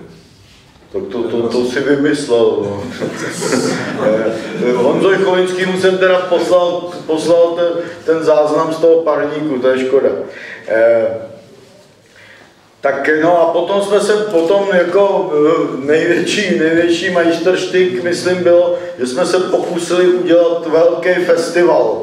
Eh, ve Volanově u Trutnova eh, měl Martin, Martin Věchet baráček, jehož zahrada měla trichtýřovitý charakter. A za ní byla ještě louka, která patřila jazerákům, ale která v tom trichtýři jako, tak pokračovala.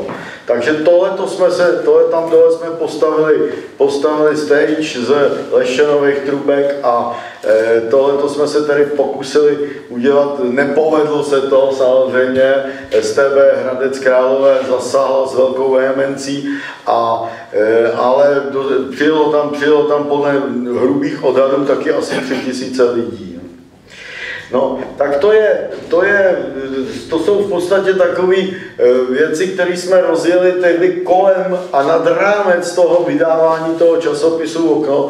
Takže vlastně, eh, jak vidíte ty aktivity, tak eh, Okno se stalo něčím jako matice undergroundová, že tedy, že tedy ty, ty aktivity byly tak široký, že si opravdu v Androši vždycky našli našli svoje čtenáře, diváky, posluchače eh, a tak dále. Ovšem, daleko důležitější je ten boj o identitu. Tady to je ono. Eh, a teď bych prosil, Aničko, jsi mi to slíbila? Neslíbila, no ale mohla by. Martine, přečti tady, tady tenhle ten krátký, tenhle ten strojiček. Boj o Popelce začal. A ten začal takto. Pátek byl pro mne hrozný den. Je to ono. Přečetla jsem si tu povídku Děti ráje, poznámka redaktora, a byla jsem šokovaná, pobouřená, naštvaná a dokonce z toho i děsně z vás bezmocná. Vedle tak krásných procítěných básní, taková prasárna, takový hnus. Okamžitě jsme to vytrhli a spálili. Tohle, na tohle, Není slyšet, nejsi slyšet. To, tohle se nesmí dávat lidem číst. Tím bychom se s tím stotožňovali. Nejraději bych toho blba nakopl. Z kaši, že jsou pěkně blbí, že to zařazují. tím sebe i to, tedy okno, schazují. Čemu to slouží?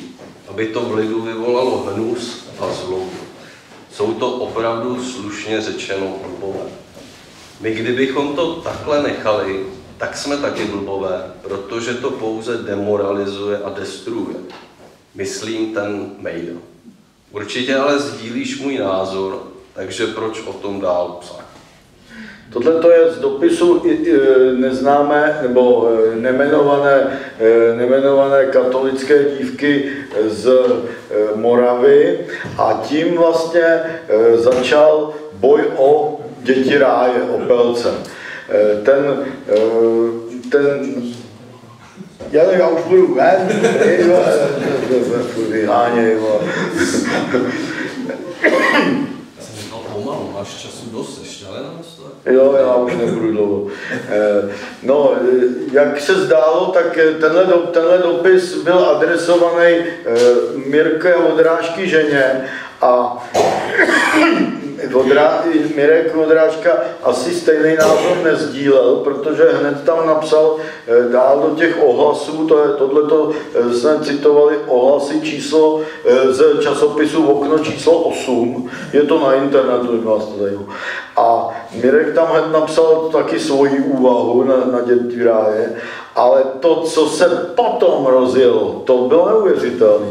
První se ozvala další křesťanská dívka nebo paní z Moravy, e, Iva Kotrlá, která napsala, která napsala Jirousovi, sedni si na, zách, na hajzl ty e, novodobí e, to Zdeňku nejedlí, jo, jo, jo, to, no. a, a, tak, a tak se, to bylo, potom už docházely ty ohlasy a zejména to byly teda takový ty hodně ortodoxní katolíci a potom teda se zapojila velmi ta, eh, ta, eh, ta postkomunistická část, část eh, charty, jako byla paní Marmanová a já už nevím, kdo všechno. A nakonec Ivan Sviták ze zahraničí, jako, jo, ten měl Schmeiz Undergroundu napsal. No.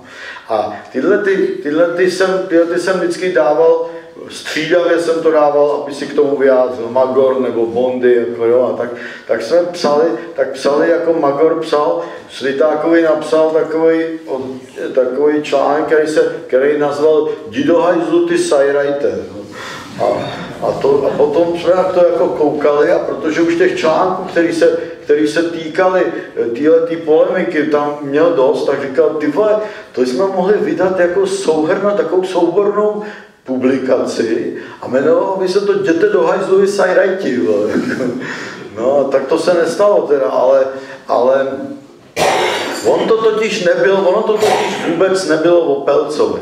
Eh, ono to bylo právě o tom, o tom o té morálce undergroundu a o undergroundu vůbec. Protože to, co tady říkal prvé e, Placák, jo, to, to, to, bylo, to bylo pravda. Najednou se totiž ty mladí, jo, ať už to byly děti, e, české děti, nebo, nebo tenhle ta, ten, ten underground, tak najednou začali artikulovat svoje názory. V, na začátku charty, na začátku charty, nebo před chartovní době, tak to, tak to bylo o nás. Protože my jsme byli, my jsme byli ty zavřený, že jo, a najednou o nás psali a, e, a nám, nás bránili. To bylo, to bylo pořád.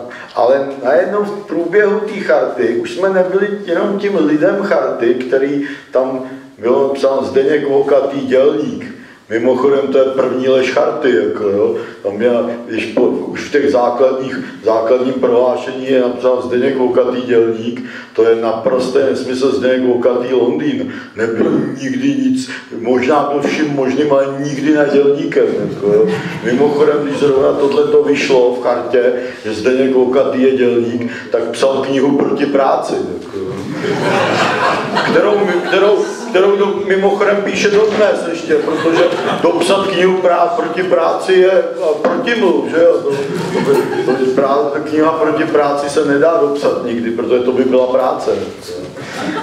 No a tak, eh, tak eh, my v předminulém čísle okna myslím, že máme jednu kapitolu a to je první kapitola, kterou se mi za těch, za těch já nevím, 40 let dostal, podařilo z Londýna z té knihy dostat. A Eh, tak, eh, tak, eh, tak to bylo pořád, tak jsme byli jaksi, jaksi pasivními účastníky toho. No. Ale najednou na, na přelomu, na, v polovině těch 80. let i tyhle ty lidi začali artikulovat své názory. Jo. A to právě těm kteří si tehdy říkali přední signatáři charty, tak eh, to jim začalo vadit, protože eh, to jejich, eh, to jejich hájenství toho, že oni, mají tu pra, že oni mají ten patent na výklad charty, tak jim najednou, a na výklad i dizentu vlastně, nebo, nebo boje proti, proti komunismu, tak to jim najednou, no jim najednou někdo začal narušovat a byl to právě underground, který, který se tedy do jisté míry stal tím, tím co, s, čím začali, s čím začali v chartě bojovat. To mělo potom i následky ty politické, jako to, co tady, to, co tady četl, to, co tady říkal Láďa Kudena, že, že jsem nedostal toho mluvčího charty, když Anička Šabatová mi, mi mluvčilství předala, což bylo prvně v historii charty, kdy, kdy mluvčí charty nebyl, nedostal právo předat mluvčování někomu, komu chtěl. Eh, to, eh, to byl potom i ten, ten dopis 40, prostě to, přeneslo se to do, do, eh, do tohohle chartovního prostředí, ale to je, jak říkal Láďa, píšem o tom, píšem o tom knihu, takže to je jiná kapitola, třeba někdy v budoucnu, jestli budu živ ještě, tak o tom povídeme si tady někdy více. Já, já děkuji. moc.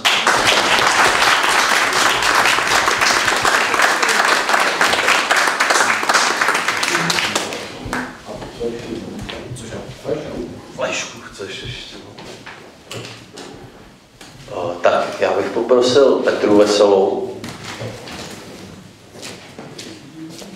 mi to jde.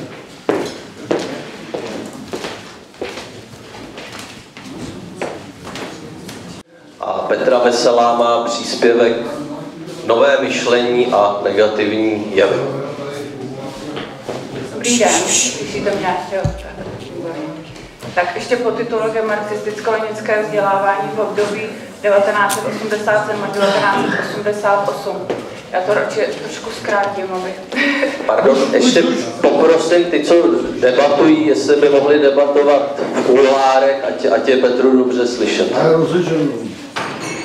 Takže mě zajímalo eh, právě toto období, které je typický těmi hesly o tom novém myšlení, tak mě zajímalo, jakým způsobem ty ideologové té doby chtěli vlastně to zrealizovat, aby ti lidé nově začali myslet a jak se chtěl vypořádat s tou rozepří mezi teorií a praxí a hlavně jak se vypořádat s těmi negativními jevy, kterých v té době bylo opravdu hodně.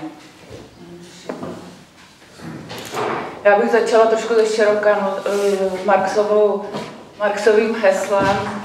Evropou obchází strašidlo, strašidlo komunismu, protože mi to připadalo docela aktuální v této době kdy teda někteří z nás můžou vidět ty strašidla, někteří je nevidí a někteří je nechtějí vidět, takže jako mi to připadalo docela aktuální. Uh, no a jaký odkaz nám nechala 40-letá zkušenost marxistické ideologie. Já si myslím, že na tom, že je to docela zajímavý námět.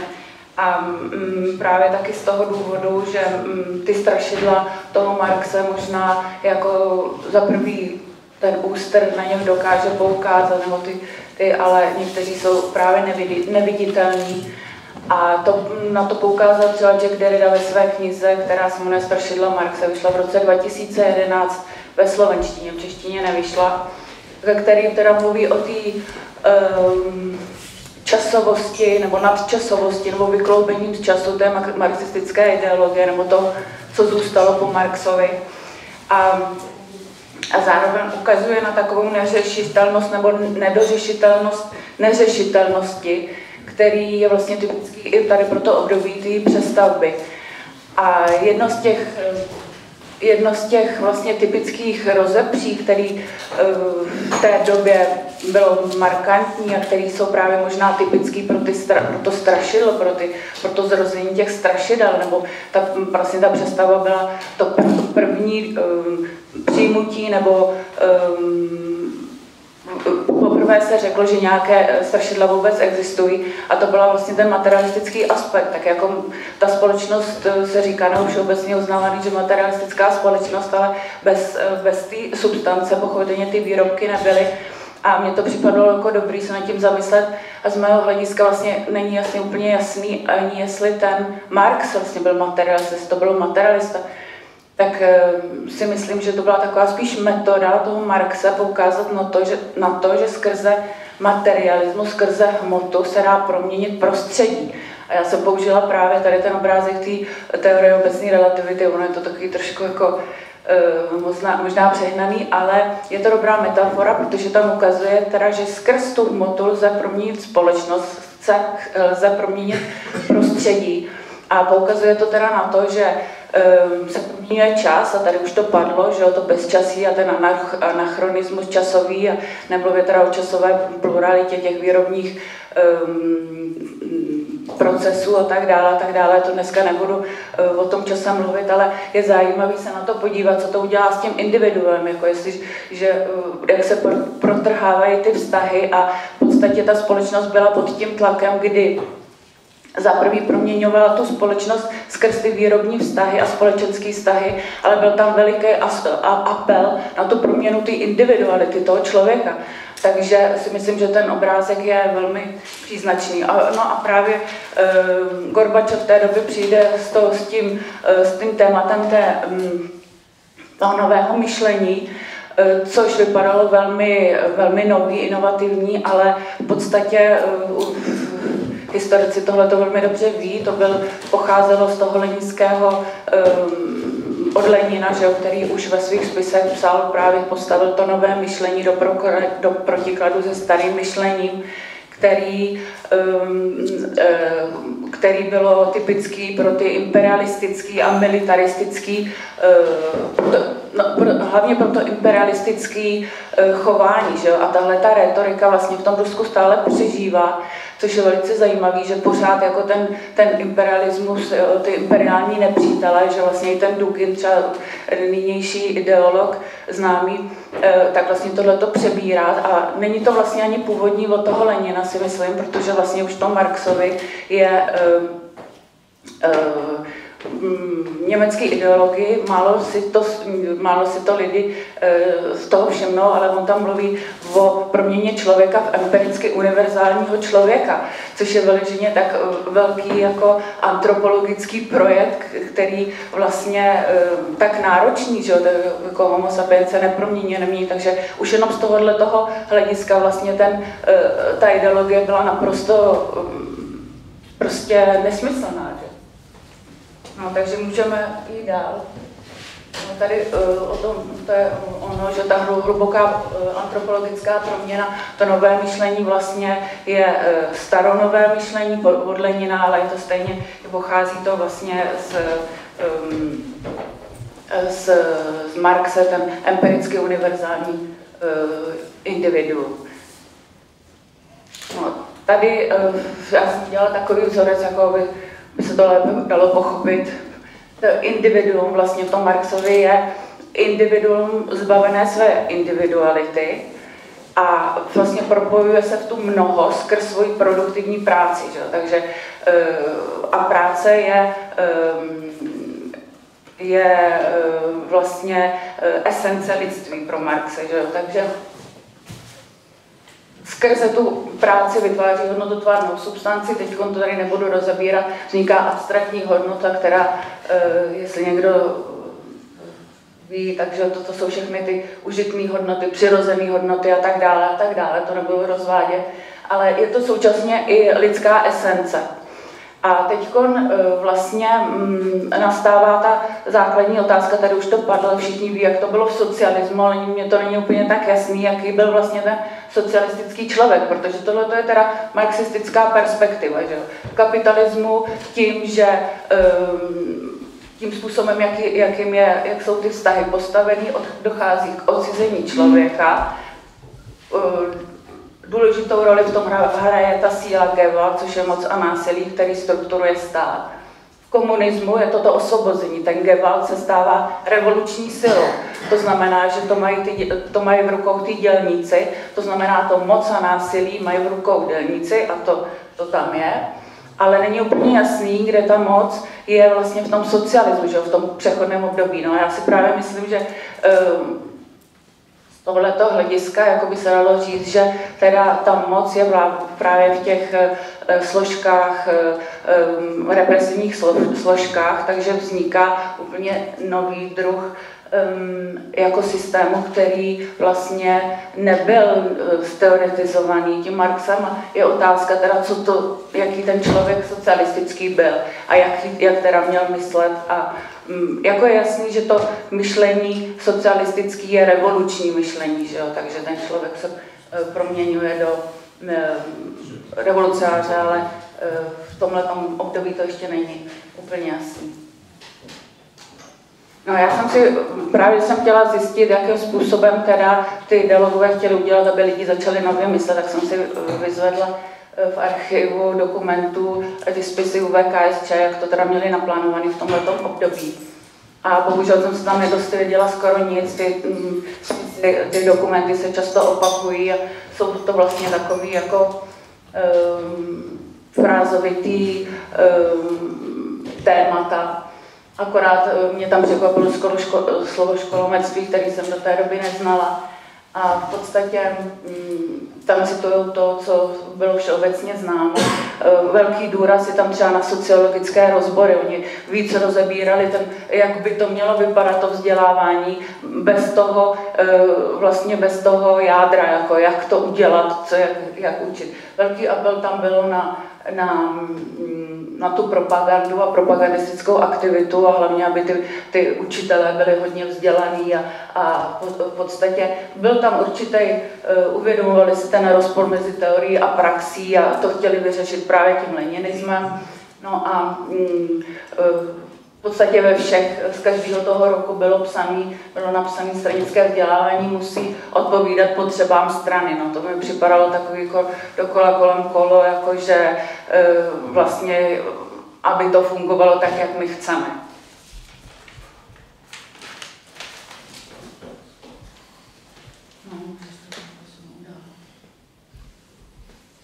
Jsou některé ty, ty, z těch archivů, ty složky. No.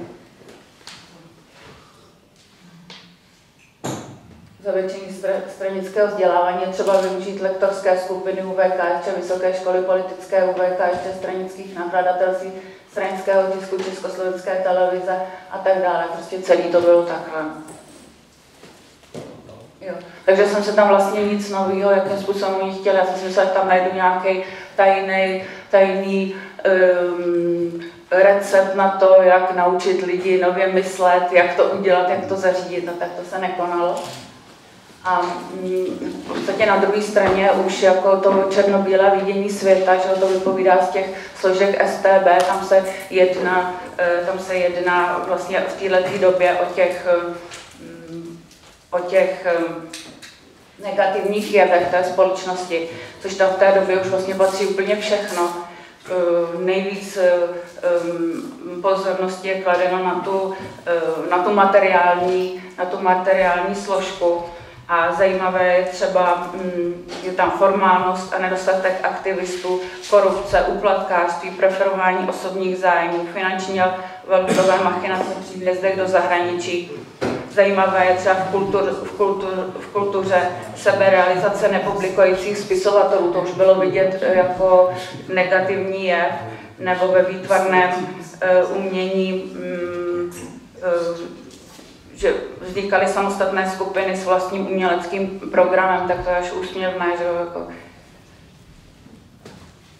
zvýšená emigrace, to všechno spadalo do těch negativních e, jevů.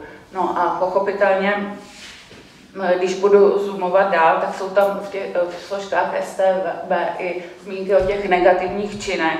A tam patřilo, to už bylo, to už je totálně svět za světem, kam patřili prakticky nejenom už eh, underground a punkáči, ale i nová vlna heavy metal, eh, oficiální disidenti, nepublikující spisovatelé, bývalí ideologové, umělci, celé paralelní umělecké struktury, církevní struktury, amatérské divadelní spolky i jednotlivci, ale opravdovou hrozbou byly hudební skupiny.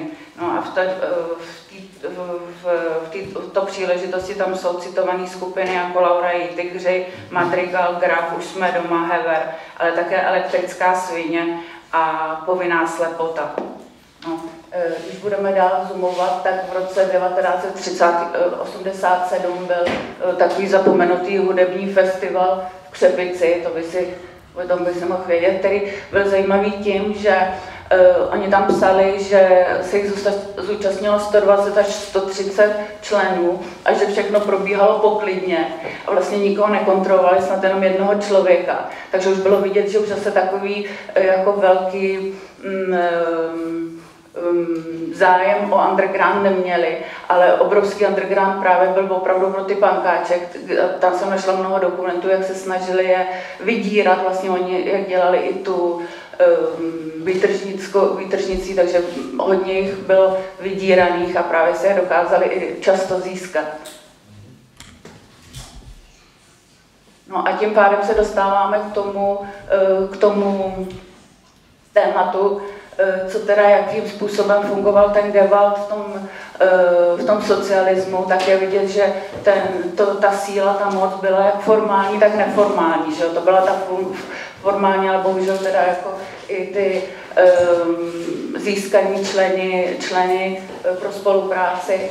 A tady je vidět, že ta ambivalence kontrakultury je daná složitostí a komplexností těchto propletenců. O tom se velmi málo mluví, ale tak to bylo. A jak uh, otázkou byla, jaká hierarchie je mezi těmito hráči, kdo byl silnější, jak vysvětlit vztahy mezi sítěmi různých vazeb. Um, ono se ví, že ty pankáči a uh, underground měli spolu velmi dobré vztahy, že, že oni se navzájem tolerovali, ale v podstatě jakým, jaký to byl propletenec, jak to fungovalo. Eh, o tom, to je takový téma, který by se dalo využít třeba v orální historii a objasnit to, protože celá řada těch eh, spisů není k dostání a takových těch stěžních spisů ty, ty prostě nejsou, takže myslím, že z toho stále zůstává hodně neobjasněného. Um, spojovalo je pochopitelně eh, ten stav ohrožení a ten stav přežití. Že? Takže jsou to vlastně eh, vytvářely ty strategie přežití a byly to vlastně součet dramat končící aktivací nebo explicitním antagonistem k moci. No a já jsem v tomhle příležitosti našla mm, film mm, z roku 88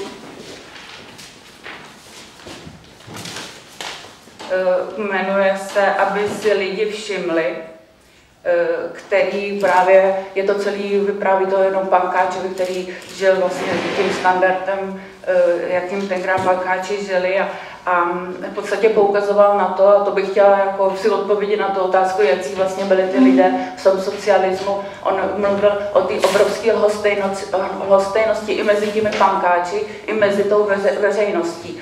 E, takže e, taková ta, vlastně ta tendence toho, ten, e, ten, tu společnost stmelit vlastně došlo k naprosto k opačnému efektu a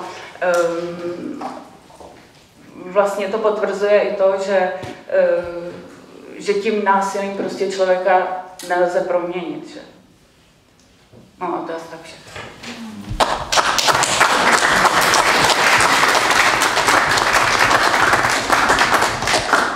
Tak eh, díky moc, Petro, za pěkný příspěvek.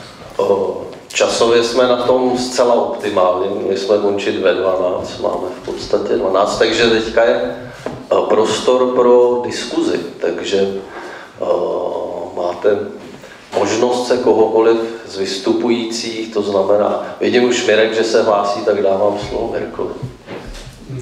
Já, když jsem poslouchal ten příspěvek vládi Kuterny ze začátku, tak si myslím, že tam je určitý nebezpečí historické reflexe. V tom slova smyslu, že to, co se dneska nám jeví, jako víceméně můžeme to i dokladovat na základě archivů, dosti jasný a zřetelný, tak si myslím z hlediska chaosu, že vlastně v té době, kdy probíhaly ty události, tak ty věci nebyly tak eh, jaksi ostře mm, vyhraněný a viděný a, a byly v určitý neurčitosti. Každá, každá událost a historie má určitý prostě šum a všechny tyhle věci. A um, já třeba, když se tam uh, jaksi reflektoval ten problém třeba undergroundu nebo v určitých kritických hlasů chartě, tak eh, jsem to vnímal, že hm, samozřejmě něco takového existovalo, ale nemělo to tu ostrost, kterou může mít už dnešní historická reflexe. A to si myslím, že je určitý nebezpečí. Jo, to znamená třeba, já hm, i často s Čuňasem jsme se o tom bavili, já třeba jsem nerozuměl no, skutečně, proč jak Patočka a proč i třeba Hejdánek Eh, jak si hm, hovoří o tom dialogu s mocí, ale hlavně ve smyslu jakousi lojalitou eh, k režimu, což jsou slova přímo patočky. A když jsem opakovaně třeba s Láďou Hlídánkem na toto téma se bavil, tak on říká, já prostě to tak vidím. Jo? Ale samozřejmě jsou lidé, kteří jako to berou, jako to prohlášení charty, jako takové jako určité jenom zástrčko jako krytí, aby nedošlo k nějaký větší represi a tak dále. Ale tím chci říct, a, a samozřejmě ještě v, v dodatek, že i když jsme se bavili s Čujasem často na tohle téma, tak i on mi říkal, já sám jsem nevěřil, že oni to berou vážně. Jo? To znamená, že a my třeba dneska z historické reflexe to vidíme jako vyostřený problém, ale v té době to skutečně nebylo tak vyostřený, tak eh, abych to řekl, jak se eh, to může jevit z tvého příspěvku. Takže je to trošku podle mě problém. Tak, teda Mirku, děkuji. Eh, já s tím, co říkal Mirek, nemůžu než, než, než souhlasit. Problém je, že pokud máte referát, tak je omezen 20 minutami, tak samozřejmě ta problematika je mnohem širší a eh, historici mají ten luxus, že můžeme hodnotit ty události ex post, kdy víme, jak dopadly. No, nedarmo se říká, že dějiny píšou vítězové. Samozřejmě, že eh, pro mě na to chartního společenství eh, měla, měla, měla, měla svůj vývoj, který byl jednak dán tím, co se dělo v zahraničí, jakým způsobem probíhaly represe na domácí scéně. Vždycky to souviselo vlastně, jaký fázi se ocitla i ta, i ta studená válka. Samozřejmě, že je velice jednoduchý eh, kritizovat eh, z pohledu, eh, z pohledu dneška onu dobu. Ale jak jsem říkal, my musíme rozlišovat to chartní společenství jednak v době svého vzniku, na počátku 80. let, kdy tady skutečně byly represe, které evokovaly poměry z 50. let. A jiná situace byla v té druhé polovině 80. let. Samozřejmě, že Eh, pokud já to schrnu 20 minut, tak to může vypadat eh, jako něco, co v té době eh, z mého pohledu bylo, bylo zlomové. Bez pochyby to zlomové bylo, ale je nutné propojovat události, události v celku. Jo, já jsem zmínil, tak na počátku 80. let skutečně ta situace byla závažná a pokud tady někdo vyčítá chartě, že toho dělala málo, tak já si to rozhodně nemyslím. No. Ty jste zmínil Hejdánka, ty jeho nekonečné cíle charty, profesora Patočku.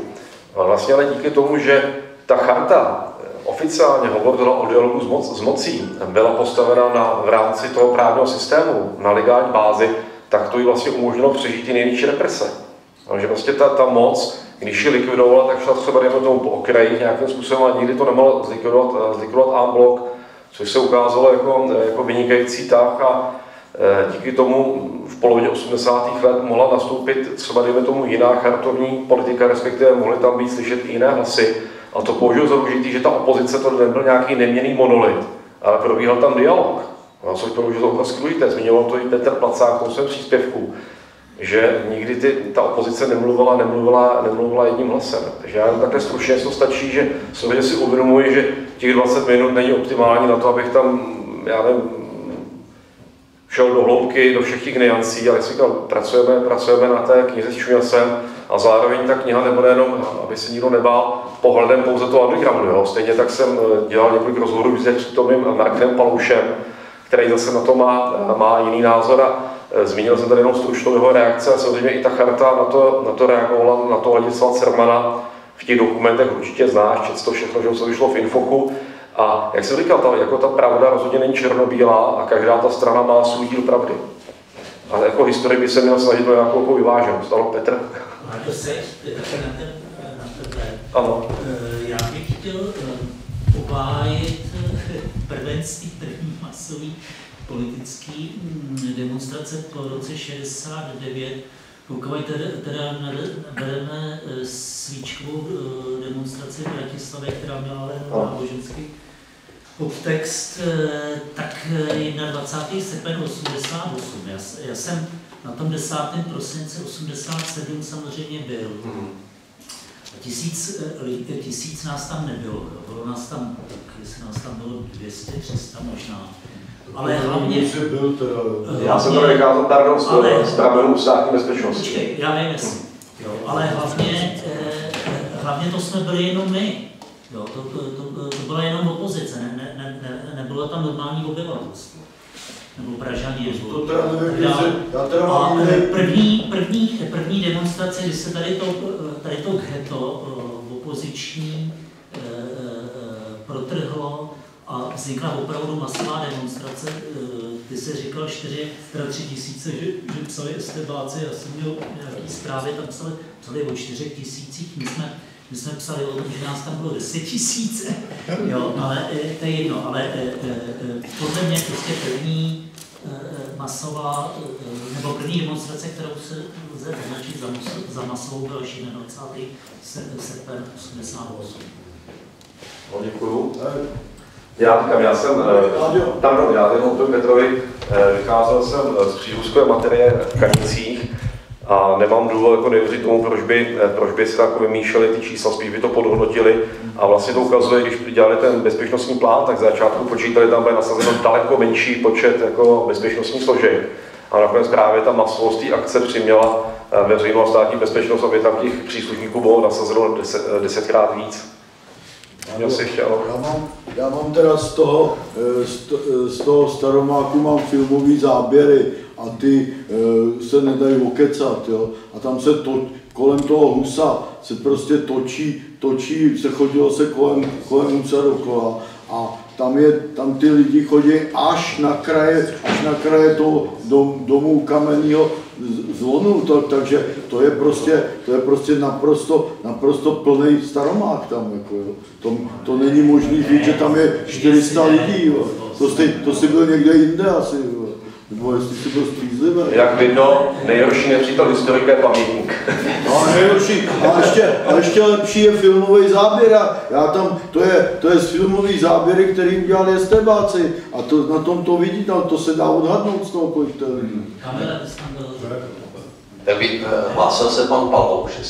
Já o to nechci přijít vstupovat, protože uh, vím, že když je člověk má být průvodcem v muzeu, kde je také Eh, jakýmsi objektem, eh, tak eh, to nedopadne dobře. Ale jenom poznámku k, té, k tomu dialogu s mocí. Podle povahy té moci, jak tady paní kolegyně říká Gewalt, ta moc dialogu schopná nebyla. Čili jestliže charta nabídla této moci dialog, no tak ten dialog byl pouze receptem na likvidaci té moci podle její vlastní povahy, jo, což se nakonec ukázalo být jako platným, tak to už dávno nebyla tím, čím byla eh, při té revoluci v roce 89, eh, teda v tom eh, listopadu. A poslední poznámku, jsme v knihovně Václava Havla. A myslím si, že jeden z nejdůležitějších esejů na toto téma Václava Havla byl čas příběh a totalita kde srovnává stalinismus v 50. se všemi tedy průvodními znaky a husákovskou eh, normalizaci. Tam to mi připomíná i tu Arentovou, která o tom píše, když se Hitler dostal k moci v 30. letech 33 v tom Německu, tak se jí ptali jako židovci, jak to vnímala. A ona říká, hele, to, co dělali naše nepřátelé, to nás nepřekvapovalo, to jsme věděli, co budou dělat, když jsme možná nedohlídli těch konců. A to, co nás překvapovalo, bylo to si naši přátelé, jak snadno se přizpůsobili té nové situaci a jak najednou eh, prostě tomu režimu sice ho nepodporovali slovně, ale nechávali ho dorůstat do toho obludné podoby. Čili bych řekl, ta schopnost se přizpůsobit. A zdaleka ne prostě budování nějakých nových člověků a podobně, socialistických, či komunistických, či sovětských.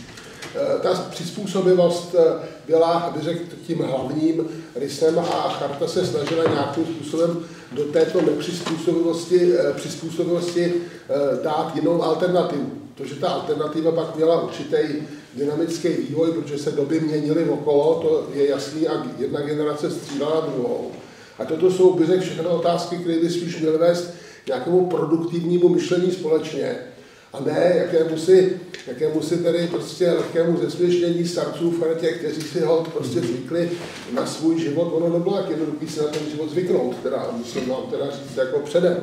Konspirace, žít věčné senu, eh, kde bylo teda poslední 24 sedm, eh, dalo by se říct, tak jako tam jsme nějak věděli, eh, že člověk nemůže určitě věci říkat, pokud nechce, aby teda byly vyneseny.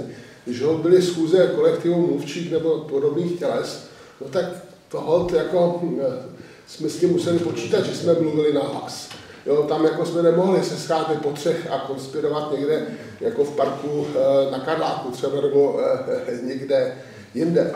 A ještě úplně poslední věc, eh, když teda je ten přelomový rok 88, 86-87, kdy Charta vydala prohlášení za prvé slovo k spoluobčanům a ten druhý obrácený dovnitř charty, ten, oba dva ty texty nadraftoval teda Václav Havel, byly podepsáni bývalými mluvčími i těmi novými 86-87, tak tam skutečně ta charta se snažila nabídnout jakousi reflexi té situace po deset let po té, co vznikla, a nějakou novou formu fungování.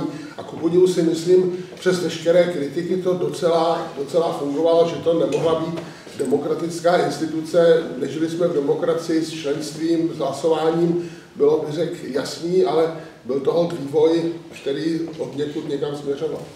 Já děkuji Martinovi, já mám stručně doplním, že s tím naprosto souhlasím a e, pokud si třeba, jestli znáš moji poslední knihu Fakta lži o komunismu, jsem editorem, tak tam v té kapitole, která se věnuje opozici, tak tam jednoznačně, e, jednoznačně uvádím, že právě Charta 77 e, byla tou hlavní opoziční silou v tom, v tom silovém období.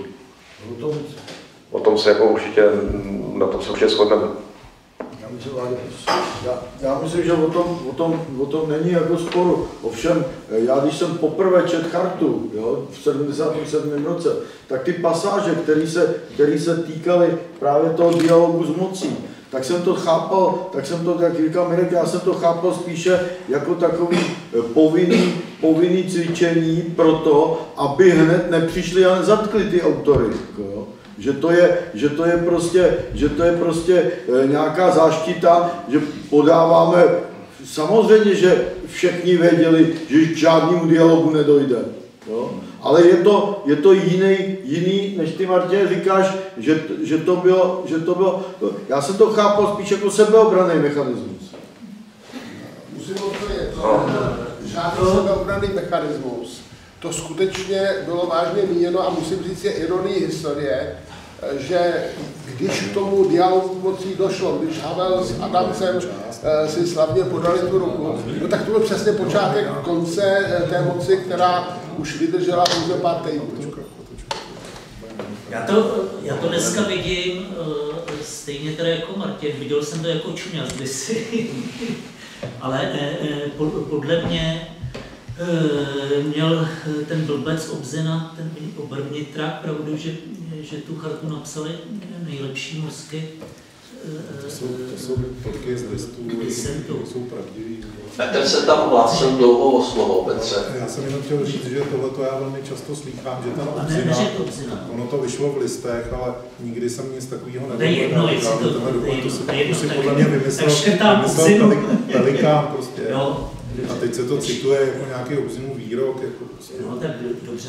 No, že dva miliony, že by podepsalo, bla, bla, bla. Škrtám, škrtám obzimu, ale uh, uh, podle mě ex post jsem potom uh, došel k tomu, že to bylo formulované takovým způsobem, který vlastně mohl ten režim nej, úplně nejvíc zasáhnout a nejlíp nalektat, aniž by mu to dávalo prostor pro nějaký větší, větší zásah, kdyby prostě to bylo nějak, nějaký radikálně formulovaný. Jo. A tehdy jsem to tak neviděl, tehdy mi to připadalo opravdu, že prostě že se chtějí prostě faktovat s nějakýma bolševikama a tak dále. Jo, a myslím si, že to je jedno fakt z, nej, z nejdokonalejších úzovkách prohlášení v opozice v rámci toho systému. No, tak, tak to je. A to, to je jenom, Martine, že jsme nadával, že nadává na kartu. Petře, ještě. Já bych jenom pár poznámek tady k tomu poslední. Já si myslím, že ve skutečnosti některé ty pasáže byly velmi radikální, když se to člověk přečte. A jsou tam pasáže, které se týkají třeba propouštění ze zaměstnání. E, tím to vlastně začíná. Jo? To je přece věc, jako kterou tedy e, vnímal skoro každý, ale to podstatní si myslím, vedle e, toho, že ten text jako byl napsán brilantně a, a zajímavým způsobem, byť jako ho vnímal asi každý trošku jinak a jinak ho vnímal tady František Stárek a jinak ho vnímal, vnímal Patočka nebo Hejdánek na druhé straně, jo.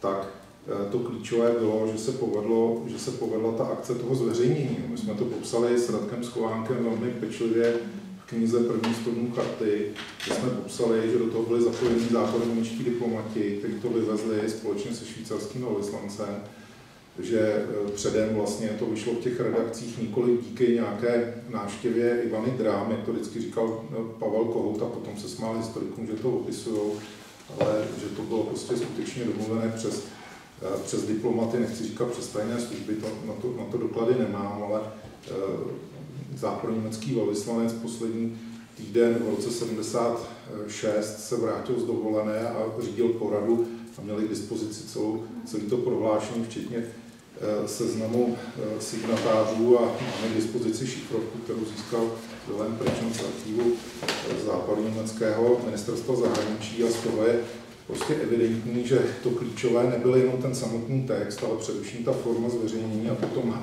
a to bylo úplně nejklíčovější, kdo to podepsal.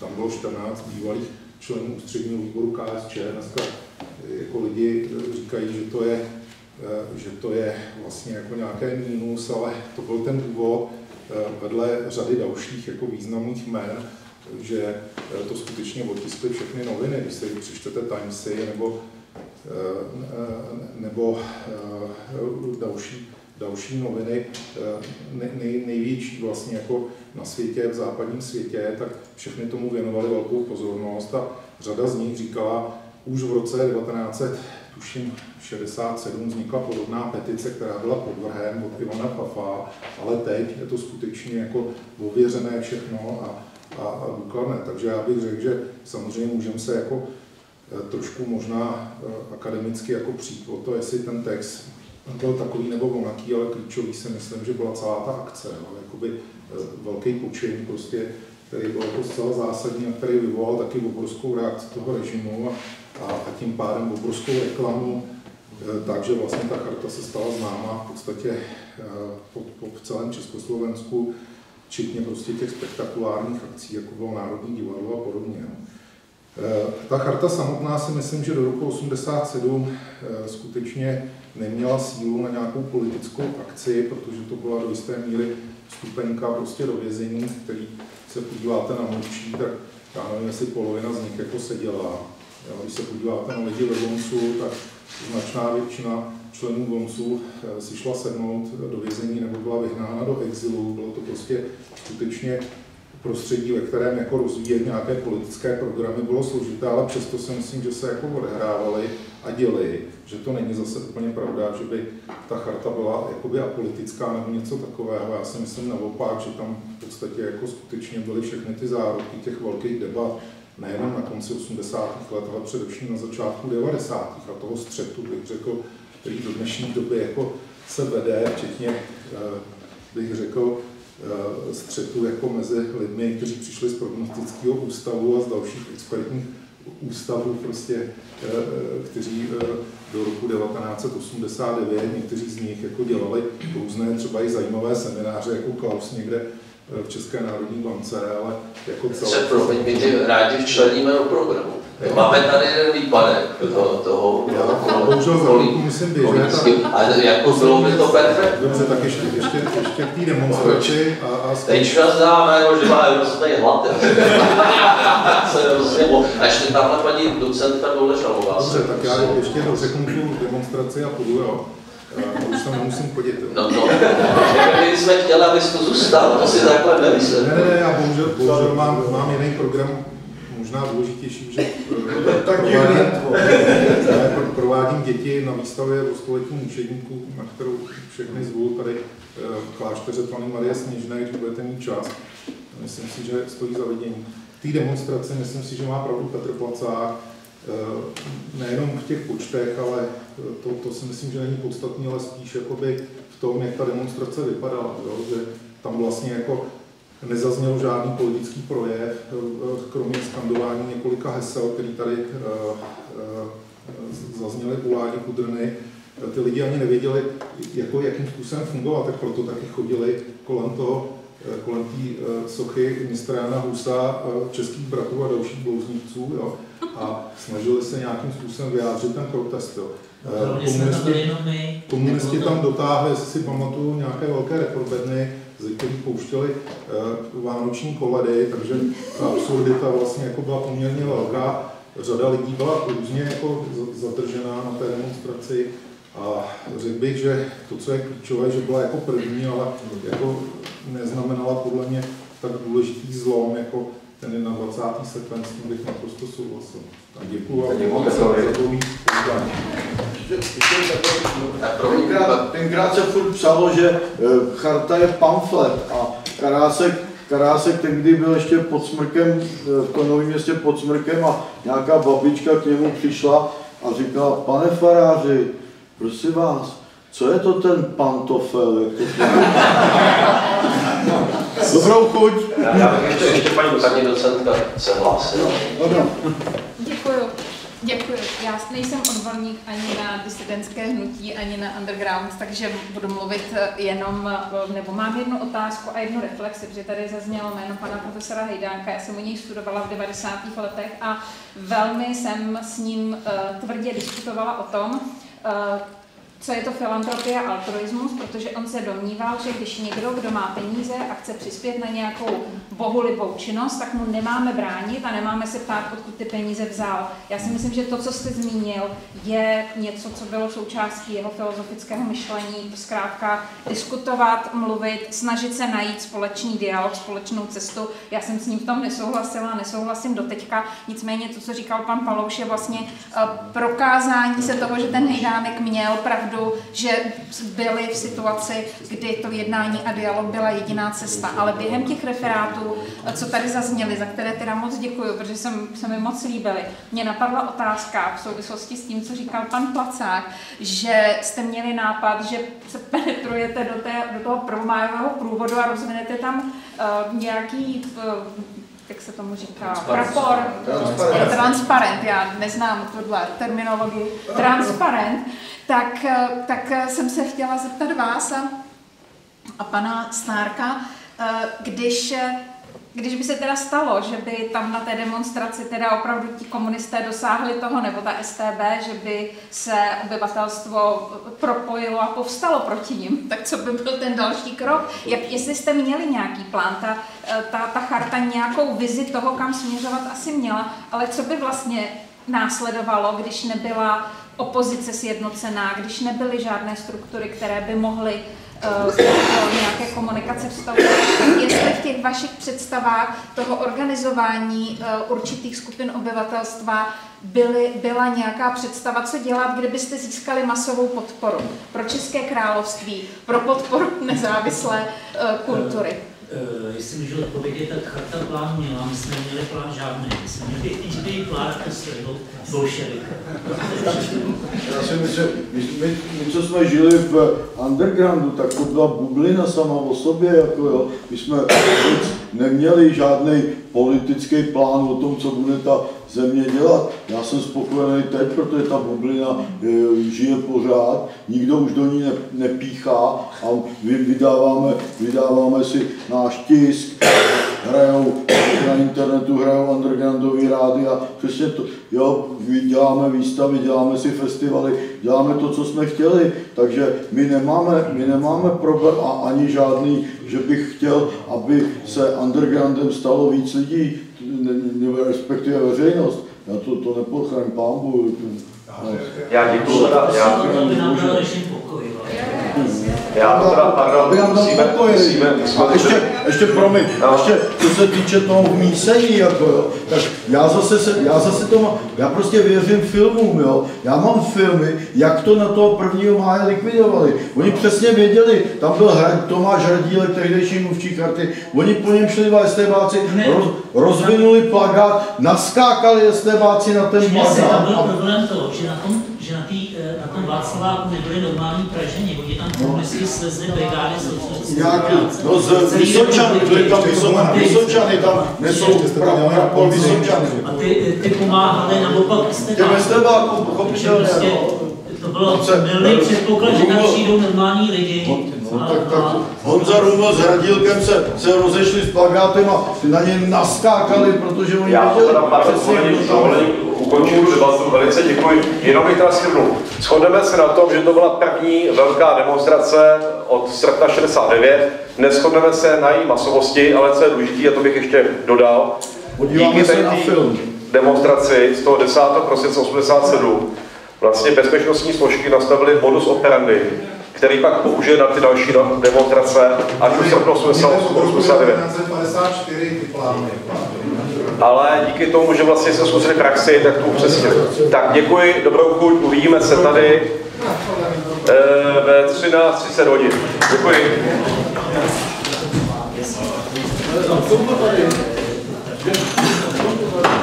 Já jsem